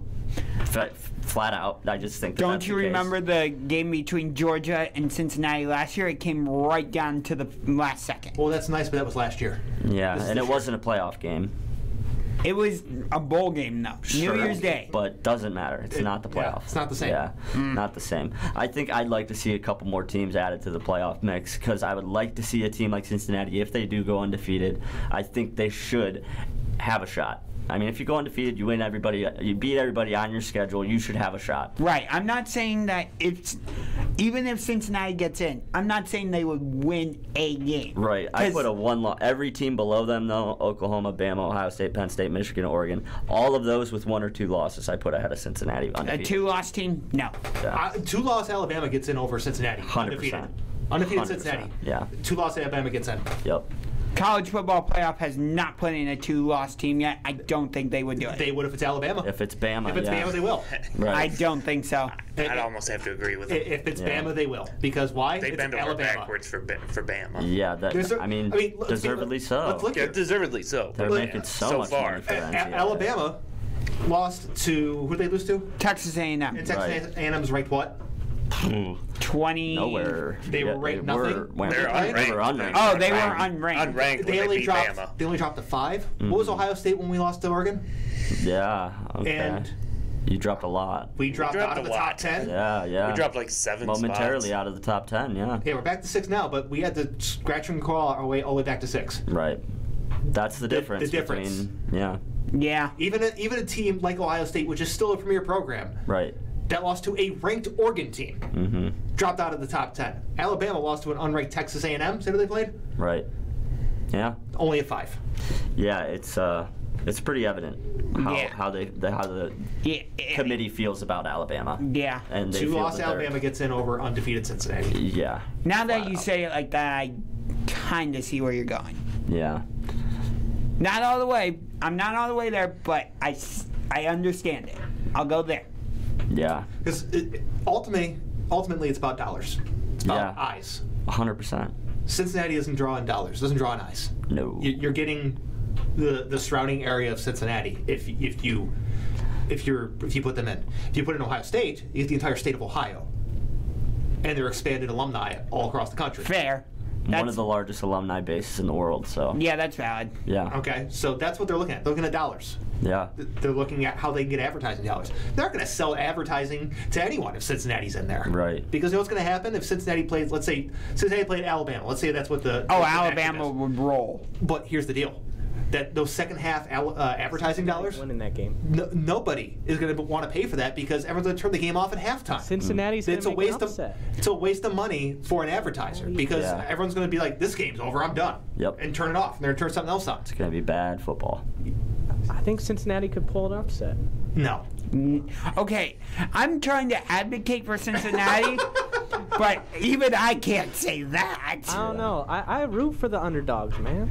That's fine, but that doesn't mean they deserve to be in the college football playoff, a billion dollar organization. You know, like it, it doesn't matter. Trust me, I'm not saying. Cincinnati's fine. They're cute. Okay. What? It's Come it's a feel good man. story. It is. Trust me, I'm zero, not saying zero Cinci- chance to, zero chance they make it in. I'm not saying the Bearcats should be one or two. I'm just saying four. That's it. I think it's safe to say Cincy will Cincinnati never team win a natty. Oh no. Ah, there we go. Oh my God. I had to squeeze one more in before James That left. was wonderful. that was a, that was a fantastic one right there. That was really good. I'll give you credit. All right, all right. Claw their way to a championship. Oh, my God. oh, Good lord. Good. good riddance.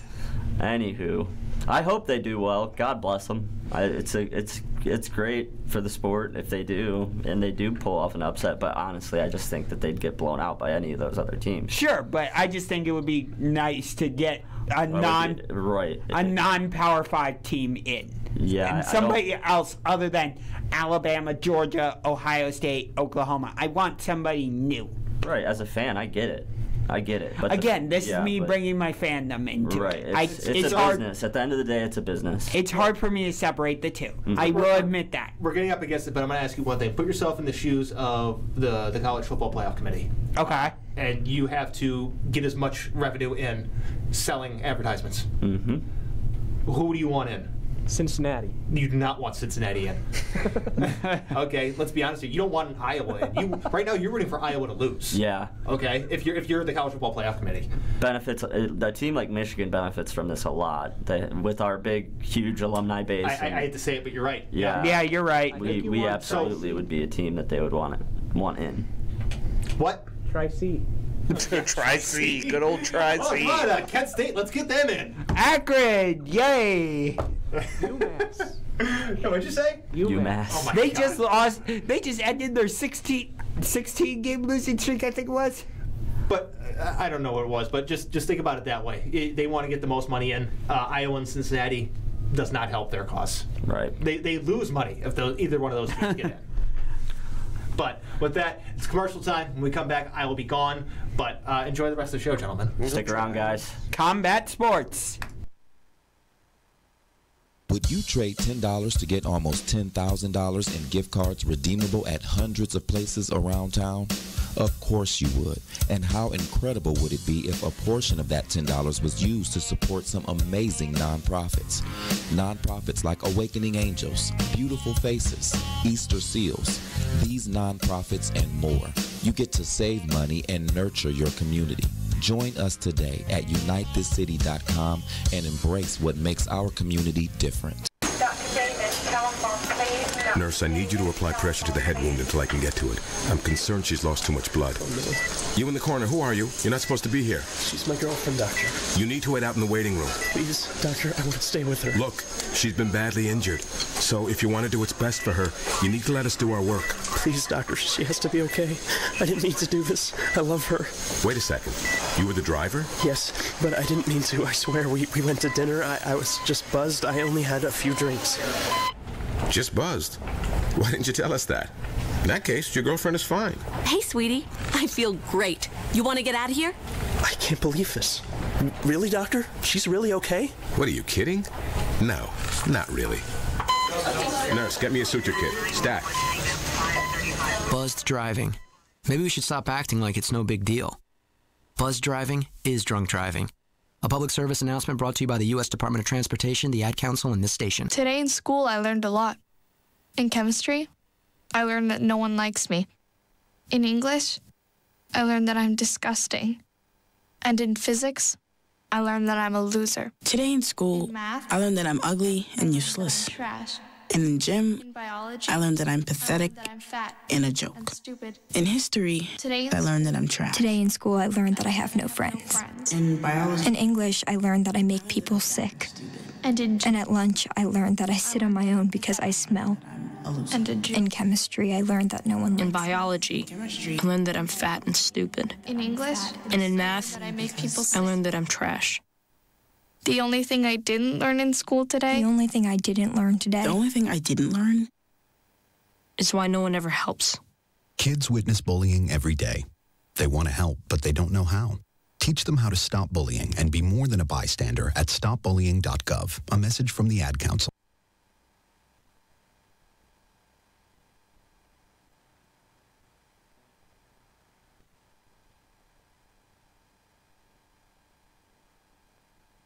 Everything's off. Oh, now we're back apparently. Uh, we are back early, a little ahead of schedule. Yeah, so uh, Want to take us back into commercial land? Or?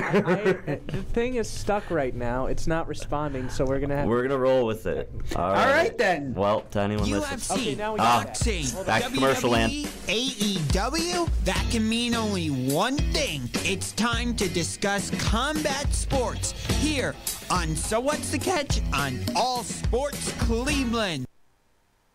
Oh. All right, now we got. We're back. All right, now we got it. So, Tyson Fury against Deontay Wilder, round three. It was a pretty good fight from what I saw on the highlights. It, it was a phenomenal fight. It's one of the best heavyweight fights I've seen in my lifetime. You know, I've watched some older fights that you know I wasn't alive to see live. That obviously there's been some great bouts in the past, but I'd say in my lifetime, like after the Mike Tyson era ended in the late '90s, I'd say this is the best heavyweight fight that I've seen since. then. Yeah, from what I saw in the highlights, it was a phenomenal fight. I think it was Fury got knocked down twice, right? Well, he got knocked down three times, but one Oh. of them one of them appeared to be a push. It was more of Okay. a yeah. And then Wilder got knocked down. it's ultimately four. Yeah. Yeah, the fourth one was ultimately, and they ended up calling that fight before his head even hit the Oh, before his head even hit the mat. It, it was that much punishment that So- he had taken. Um, Fury came in heavier than he did in the previous two fights. Yeah, Do you think that ultimately helped him? I, I don't know how much it helped him. I don't think it hindered him in any sort of way. That's for sure. He's a bigger guy who naturally his build is not obviously as pretty and appealing as a guy like Deontay Wilder. He's a little more uh, rough around the edges. You know, he's a little softer. That's the way the you're saying it? Not everybody Um, can look like Kramer. But in terms of in terms of strategy, though, you know, you could tell that he was putting all of his weight on the Deontay Wilder in the clinch. He he wanted to wrap up and put all of his weight on him throughout that fight, and so having that extra weight certainly did help. It Right. Helped, it helped wear down Wilder faster. You but do I think it made him a better fighter? Not not at the end of the day. No. So I was watching like uh, YouTubers' reaction to the fight because I Reaction the- videos are fun. yeah, and also uh, the price on ESPN Plus for the pay per view was eighty dollars. Yeah, it was ridiculous. Uh, no thanks, I'm not paying that. yeah. Um, a UFC pay per view, yeah, I'll pay that price because I actually enjoy watching UFC and I understand it. Well, and you get a whole card of good fights, Right. As opposed to one good fight. Right.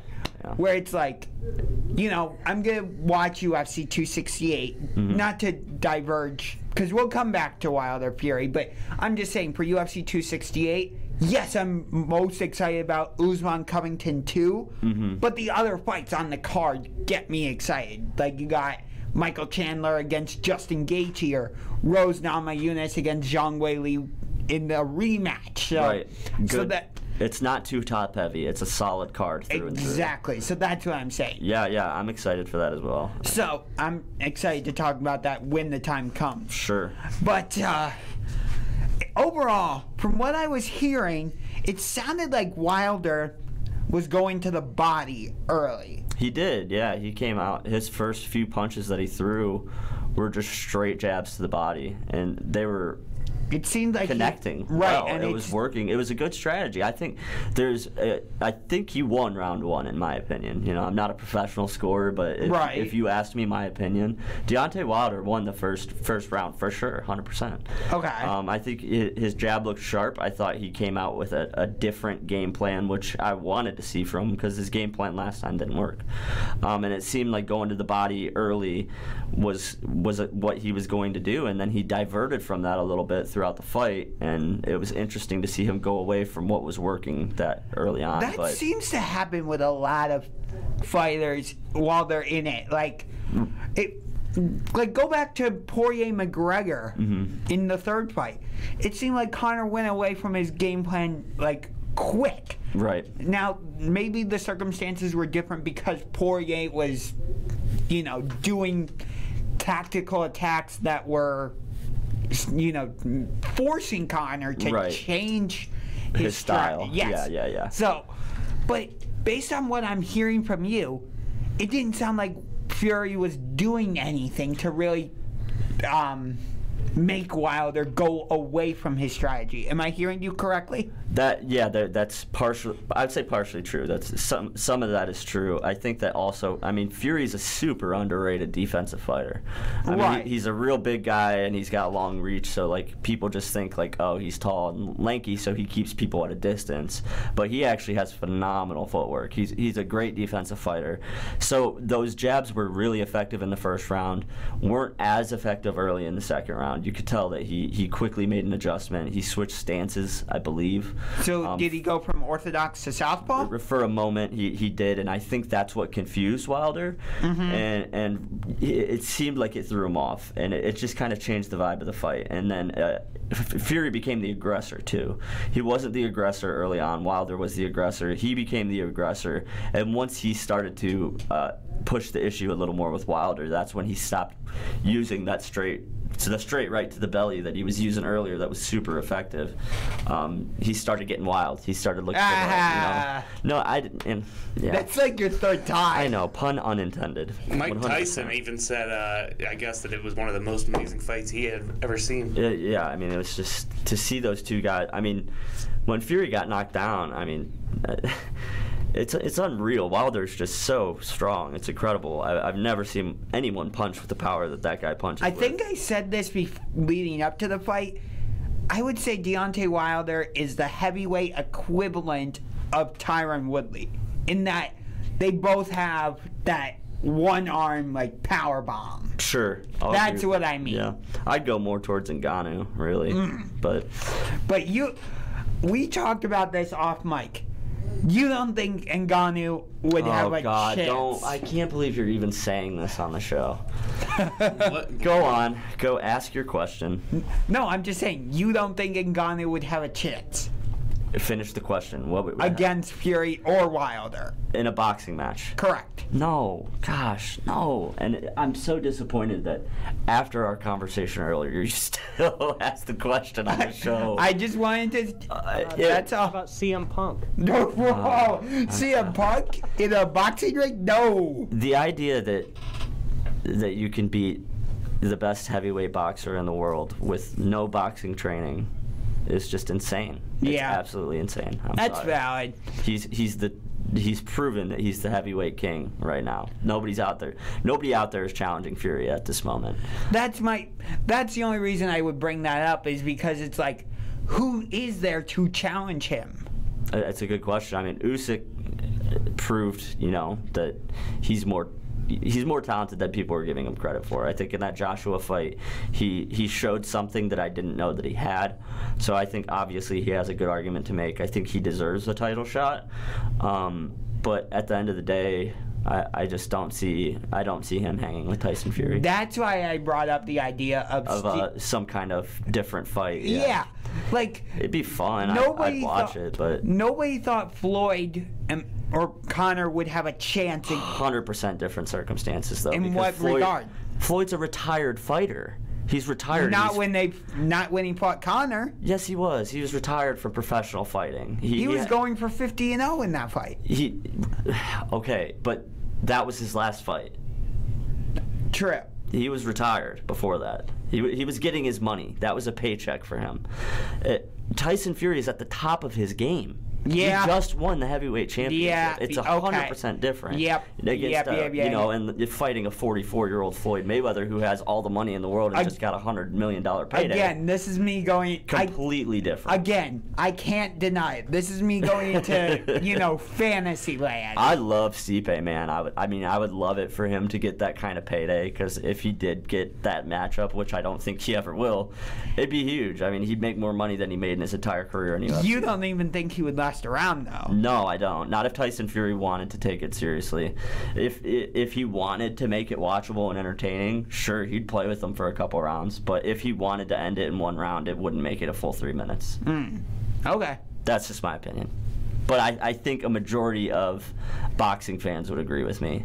And, and the other thing is, too, is I'm a UFC fan, too. So it's Yeah. not like I'm playing favorites. So- and, and vice versa. Put Tyson Fury in the ring or in the octagon with Oh, one of them. Stipe would kill him. Oh, he'd be dead.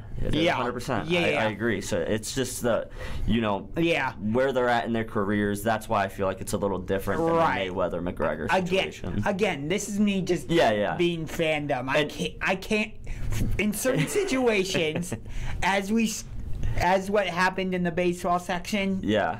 Of the show, it's hard for me to separate those two. It's hard not to with a guy like Stipe too. He- you know, being a Cleveland guy, being a fireman, and he's just the epitome, Right. the epitome of everything that this city He, stands it, for. for me, he it, he was Cleveland's first champion in 2016. Yeah. Not the Cavaliers. I agree. He is a- It went Stipe, Monsters, Cavaliers. I disagree with the monsters fact, but it's not professional sports. But go on. no, you will never sway me off of the Monsters in that. They are a minor league hockey team, correct? Yes. So they're not a major. okay. They're minor I- league. I hockey mean, that is team. kinda in the title. so that would make them not professional. So, just Would, saying. would you would you say the the Arrows had won a championship for Cleveland if they won? No, because that's accurate. it's the same thing though. They're a minor league organization. Yeah, but the Monsters play in Cleveland. okay, if the say they're called the Cleveland Arrows Ah. and they're our double A team and they won the double A championship, whatever it's called. I don't even know what it's called. You wouldn't you wouldn't say that they were a champion before the Cavs. I'm, I'm just saying, the Cavs brought home the. no, hear me out. The Cavs brought home the championship. Yes. I give, I'll give them that. We threw a parade. Did anybody get a parade for the monster? Yes, they did. Oh, okay, how many people showed up? There were actually a lot of people there. A I- lot of people as opposed to a million people was a big difference though. Yeah, You know what I- I mean? I'm not denying that. We did not flood the streets of Oh, Cleveland well, over them. Cleveland brought home the, or the, the Cavs brought home the the major title. Yeah, I mean, I'm a I'm a big and I consider myself a big hockey fan. I have no idea who wins the Calder Cup each year. No clue. Just not interested. That's just That's where you and I differentiate. right.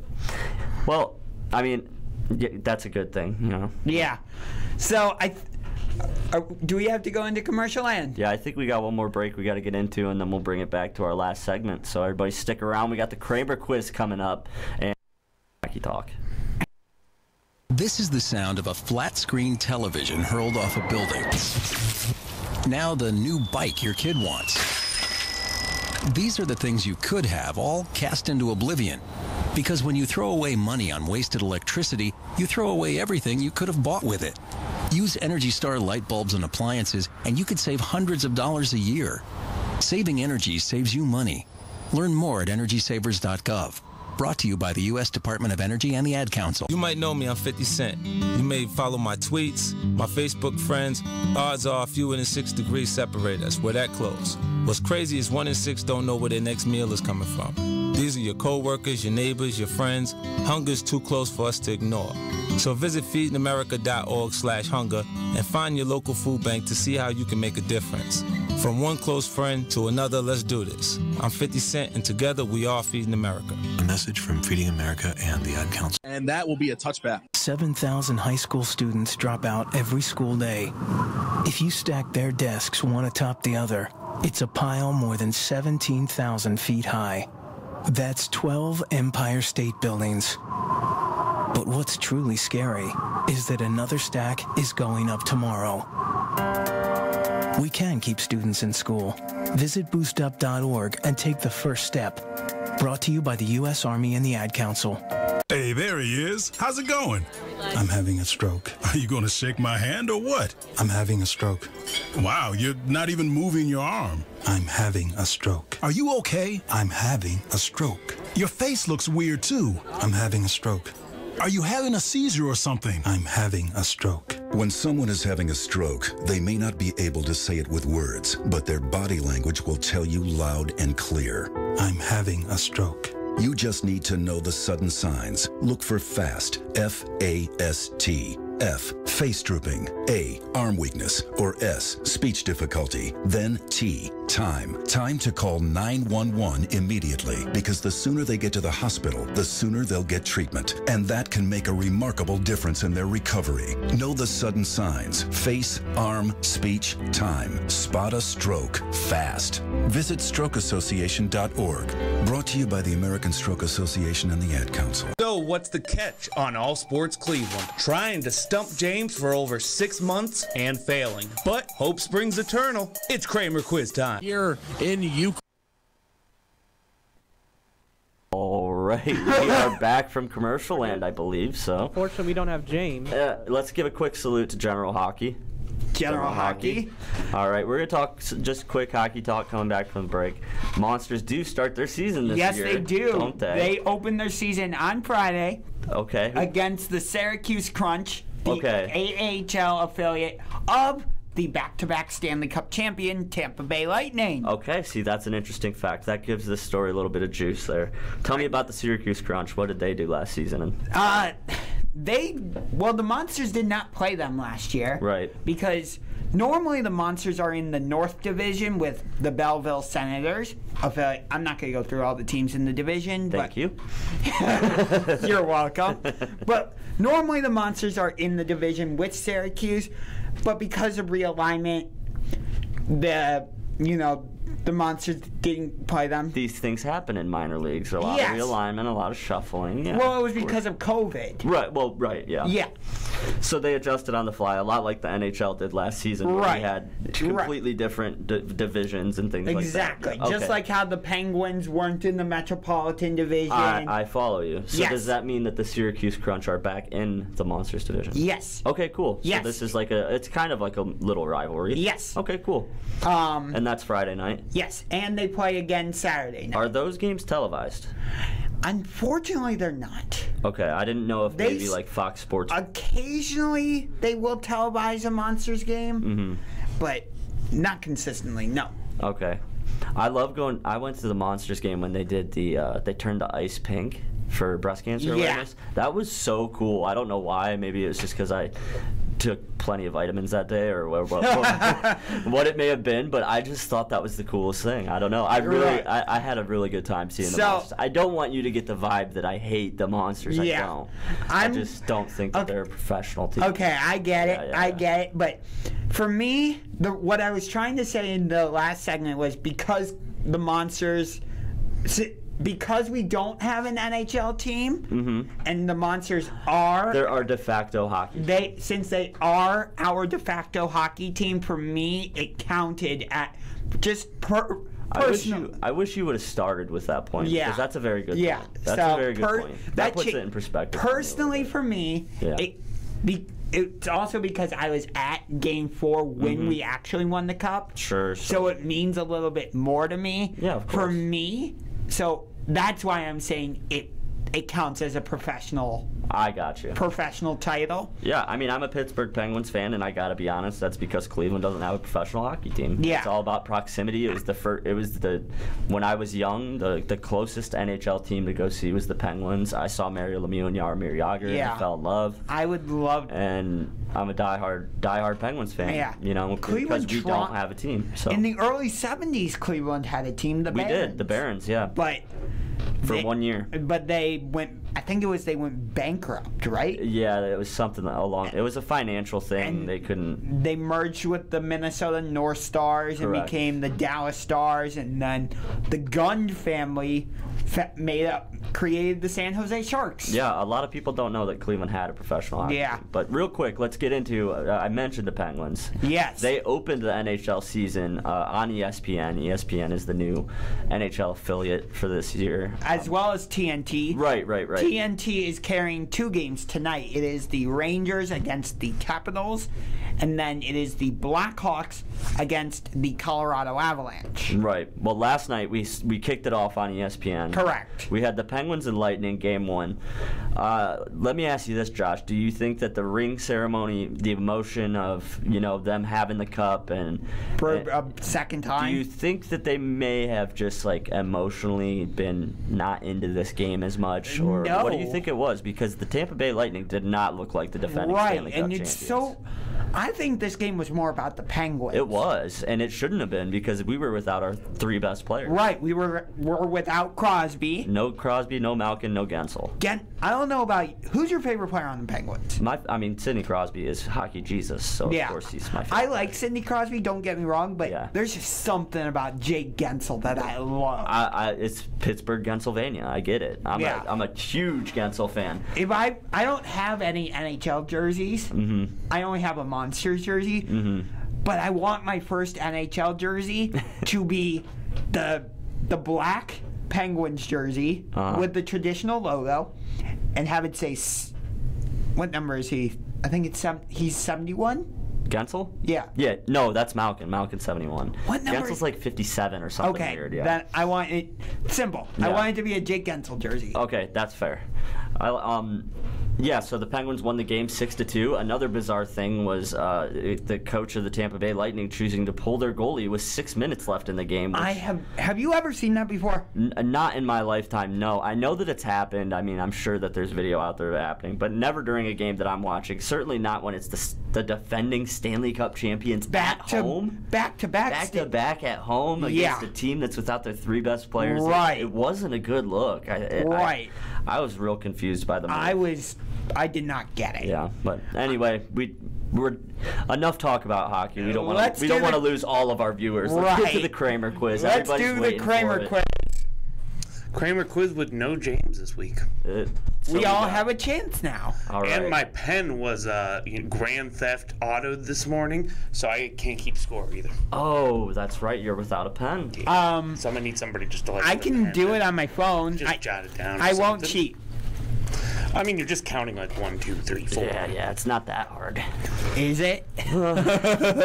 All right. That's all right. We got a pen. We're back in action. Okay. Gosh. James. Jerk. Wait, no, there's no James. No, James. Are you still with us, Chirk? Yeah, I'm still here. I haven't heard you for a minute. I'm listening. Brian. Yes. like, wow, I'm uh, Josh Chirk and who? Brian. Okay, which team opened up the 2002 NFL season with a loss, setting an NFL record for the first team to lose 600 games? Tampa Bay. No. Um, the Green Bay Packers? No. Chirk, you got a guess? 2002. Please not be them. The Cleveland Browns. No. It was the Arizona Cardinals. Interestingly enough. Who we placed on Sunday. Yes, Hmm. first team to hit 600 losses. That doesn't surprise me, but go on. Who was the first tight end in NFL history to amass 95 catches during a season? That would be the first one ever. First one ever. Give me a hint of the era. Uh, I can give you a hint of what team he's from. That's all I can do. Oakland Raiders. Okay, so it's not. That automatically eliminate, eliminates two guys. Mm-hmm. I was thinking Antonio Gates. I I, was- I don't have a guess. If it was a Raider, I don't have a guess. No. I was thinking either. Litnikoff is a wide receiver, but Yeah, I was thinking Gonzalez or Gronk, but he, they didn't play for the Raiders. I was thinking Newsome, Ozzie Newsome, but Todd Christensen. hmm, Todd Christensen. My other That's guess- interesting. Yeah. So not even that. Okay. Where did Dan Marino go to college? Oh, Um, I heard this. I used this. to love me some Dan Marino back in the day. I day. heard this the other day. I, I feel like I see him wearing an orange jersey. Yeah, I feel like I've seen him wearing orange also. That's why I'm gonna guess Syracuse. Nope. Okay, then I will guess another orange team, Clemson. Nope. What you got, Chirk? I already guessed. No, you didn't. Dan Marino, where'd he go to college? What'd you say? Chirk, where did Dan Marino go to college? Yeah, I guess Fred. Fred. Right. Fred. Fred is not where he went to college. what is the answer? Fred University. No, he went to Pittsburgh. What are you talking about, Fred? Pittsburgh, that's right. Oh my Oh god. My- Lord! yeah, my friend Dave's gonna absolutely murder me for Oh. that one. But Wait, what were you talking about with Fred? isn't that interesting though? How a guy like Dan Marino, like we could not know that. That seems like something that we would all know right off the top. Yeah. I'm surprised none of us knew that. He was a wide receiver from the 70s. Uh, he was a question behind still. Anyway, In 1991, what was the farthest punt Tommy Barnhart had? in '91, Yeah, that's a random question. his that's a farthest his farthest punt. Yeah. I'll tell you what, get it within five and I'll give it to you. 91? no. Was uh, No, no, no. I wasn't I guessing. was just saying, what? No, I wasn't guessing. was it 70 yards? No, not even within five. I was. I was. okay, I got you. now, His Saying- Josh. longest punt that year was 35 yards. No. Dang. I'm gonna I went the other way with it. say 45. No, 61. Oh, 61. okay. Has anybody West Coast- scored yet? No, they have not. The West Coast offense was developed by Bill Walsh and adopted most successfully by the Niners. Uh, but where did Walsh reside as assistant coach before advancing to head coach of the 49ers? D- uh, Dallas? No. I thought he was. New England. No. Chirk. Kramer quiz is hard this week. It's because James ain't The here. Raiders. No, it was the Bengals, actually. The Bengals. Yep, he developed a system with the Bengals and then took over in San Francisco. Good quiz. Good question. Let's keep it rolling. Which quarterback set an NFL record by being the first to have 10 300 yard passing games in one season? Oh boy. I can give you some options on this one. Brett Favre, Rich Gannon, Dan Marino, or Drew Brees. Ooh, those I'm gonna go with Rich Gannon. He, I remember. You are correct. He had a 4,000 plus yard season for the Raiders when they played And the. that was the year. That was the year. Okay, cool. 2002 with the Raiders. All right, I think that puts me in the lead. And, It and then does with a big old one. organization fell apart. With a 1 0 0. yeah. All right. All right. Who set not only a Monday Night Football record, but tied the NFL record in 1996 for kicking seven field goals in one game? Oh. Oh. No, it was not Martin him. Grammatica? No. Morten Andersen. No. Hmm. He was a Dallas Cowboy. Oh. Well then. I don't. I don't know. Chris Boniol? B O N I O L. We'll go with that. I'm not sure how to pronounce that. Yeah, sorry if you're listening, Chris. Bonial. Yeah. Interesting. um, let's go to welcome to the NFL. Welcome. Which of the following teams did not get a very good welcome by winning only one game in their first season? Ooh, is it only one? You're looking for one answer or multiple? Well, I'm going to give you four options Okay. Falcons, Packers, Giants, or Rams. Which team only won one game Which in their team first season? Only won one game in their first season. And the options again were Falcons, Packers, Giant, Rams. Is this Super Bowl era or pre Super Bowl? Pre Super Bowl. I'm gonna say the Packers. Is not. Dang. I'm gonna say the Rams. It is the Rams. Ah. Because they were in Cleveland at the time. That's right. That is right. Touche. Good question. How many? Te- one one. It's one to one. And Chirk, uh, are you still with us? Yep. He's, Okay. He'll he'll come in somewhere. Okay. He'll get one. How many 2009 NFL teams began the season in a new home stadium? 2000. Dallas Cowboys. How many? Oh, all right. How many? Two. No. Did you have a guess, Chirk? Two. No. he You just, just. Dude, you just could have guessed any other number in the world. all right. So that just leaves me. I'm gonna. that was awesome. that was fantastic. Moment of the show right it was, there. It was. That You were was gonna so say what? I'm gonna go with five. It's one. One. Just one. It was the Cowboys too, the wasn't Cowboys. it? That's why I was like, True, just say come on, one. just say- Eh, I thought the uh, Cardinals did for some reason. For some reason, I thought like the Giants opened I the was new thinking, season that year. Yeah, I was thinking the Cowboys and the Cardinals were the same year, but they weren't. In the 97 draft, four players from Florida State were selected in the first round of the draft. Of those four, who was the third player selected? Oh God. In what year? 97. I didn't. That was the year I was born. So I'll give you a little bit of a clue. It was a Florida State running back. Man, Kurt Enos. No. I'm gonna just back out of this one Mm, 97. because that was the year I was born. So I went no. It was a Florida State running back who was drafted by the Tampa Bay Buccaneers. Warrick Dunn. Yes, but you already answered, so Uh, work done. work done. That makes me the winner. And it is four o'clock, so Brian officially has won himself a round. hey, Turk, you get an assist on that. You get a half win. Chirk, you got any berserkers for us before we leave? Yes, the berserker of the week. I'm giving it to Ben Simmons for going back in that Philadelphia locker room. Oh, okay. All right, go. Ah, back. yeah, he yeah. got the outro today. All right, on. Oh, new outro. Everybody stick around. You're going to want to hear this. Thank you for tuning in to another episode of So What's the Catch? Join us next week for more hot takes and very interesting conversation, to say the least. Uh, so yeah, follow us on all our social media platforms, and uh, yeah, go Brownies.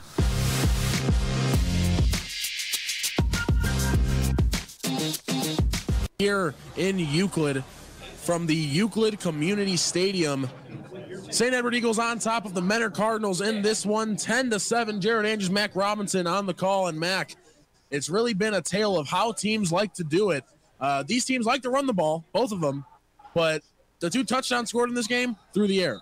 Yeah, and you've actually seen a little bit of uh, you've seen a little bit more going on the ground so far this this game. Obviously, you have 89 yards total going for Mentor, and then you have 110 on the other side. But like you mentioned, I mean, they were still able to get uh, they were able to get their touchdowns through the air. Six completions for Ian Kipp 69 yards and a touchdown. Nice. Nice. Um, and meanwhile, you've got Garrett DeZuro as well as Connor O'Malley combining for 103 yards through the air, obviously getting the touchdown for for DeZuro to Mackenzie Wainwright, who's really been targeted heavily as he's had seven targets, five receptions.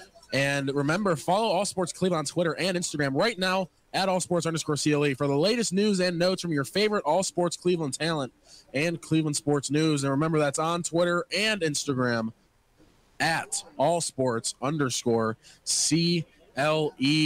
The Mentor Cardinals set to receive. They did defer in the first half, so they will have the ball to start. And a missed field goal from Connor McIntosh from 42 yards out with a chance to tie the game going into half. A little short, no good. And that's where we stand right now, Mac. 10 to 7. And both of these running backs really not having dominant games like we've seen from them in the past, but the quarterbacks picking it up for them on the ground. Yeah, you've seen Garrett Zero get 30 yards, obviously at a long of 14, but he's been able to get a good amount of gains here as well. Jordan Castleberry has been the story of this game, in my opinion, because Castleberry has been the one that really has opened up a lot of things where Noah Potter is now focused more so on Castleberry than on the quarterback, I feel. He's been able to go a little bit more upfield, which has opened the whole 4 0 to gain some yards. And we've seen pretty much all season long that Ben don't break a defense from Mentor. They'll give you they'll give up some yards, but they're not going to give up points. And right now they find themselves trailing 10 to 7. They're giving up those quick little screen passes outside to Wainwright. Do you think they start to take those away or do you think they stay the course here? I think they stay the course with this pretty much because obviously it's that Bennett but don't break type defense. But the other thing that you got to keep in mind is that for the offense, they going into or after the first quarter, they had 31 yards. Here at the half, 153. They were able to get the offense going right, and now you're starting to see what Mentor is able to do here on offense. If they're able to continue this, and mind you, it was 14 all going into half in week one. Final score 42 to 39. Yeah, and you know we've seen the top taking taken off so far uh, in that second quarter for uh, Mentor. Luke Floria, after a couple drops earlier in the game, an over-the-shoulder basket catch on a throw from Ian Kipp for 30 yards, um, and that really set up the score. And without that, Mac, this might be a dominant first half for St. Ed's, but that touchdown from Kipp to Floria makes it a little closer. And now Mentor has a chance to either tie or take the lead on this impending kickoff. And not only that, too, Mentor has had a few missed opportunities, like you mentioned. There were a couple missed opportunities of Mason Trubisky going down the seam. He had a few times where he could have had a touchdown, as well as Floria, in addition to his one that he had. So really, this could have gone either way. This could either be a very dominant game by Mentor if they're able to capitalize, or a very dominant game by St. Ed's if they're able to shut down that pass to Floria and getting ready to kick it away are the Eagles. Back deep, Gallo and Floria both inside their own five. Ed's kicking from right to left, wearing their white uniforms with green numbers and, excuse me, a yellow trim around those numbers. Yellow pants with white and green stripes going down those pants. Yellow helmets with white and green stripe down the center. And for Mentor, they're all red uniforms with gray numbers, gray helmets, and white trim on the jerseys. And Swan kicks this one away, and it is going to go to Floria, and it's going to be short, actually, caught by an up man across the 25 and down to the 28. And that is where Mentor will take over, down 10 to 7. Yeah, you saw him try to get a little bit of room, try to make some, try to get some speed going up the front, and was able to get a couple of yards. Not necessarily anything great, but they're going to go and take over. It looks like they're going to be at the 29 yard line. And that is where Ian Kipp will lead his team. And the sleeves are off for Ian Kipp. The sun is not out, but the guns are for the sophomore as he ditches the white long sleeves and will lead his Cardinals back onto the field. Trips out to the right. Vernon, Gallo, and Floria. And Trubisky is alone far side to the left. Trobel in the game to the right of Kipp in the shotgun. And it's Trobel off that left side. Trobel is smashed in the backfield. What a hit made on that play. T on Smith. Tion Smith is one of those guys who he's a captain on this team, and he made a huge play coming off the edge. Big hit on Brian Trobel. Trobel loses two yards. They're going to get call it three yards now on that play. Second down and 13. Twins on the left and on the right, from left to right, attacking here are the Cardinals. Ball on the left hash. Kipp back to pass. Steps up in the pocket. He's under pressure. Now he's going to run. He's got some room on the left side across the 30 and knocked out of bounds just past the 30 to the 31. Four yards on the scramble. That'll set up a second down and eight, or third down and eight, excuse me. Yeah, it's looking like it's going to be a little bit more manageable for this offense. So it's going to be interesting to see if they're able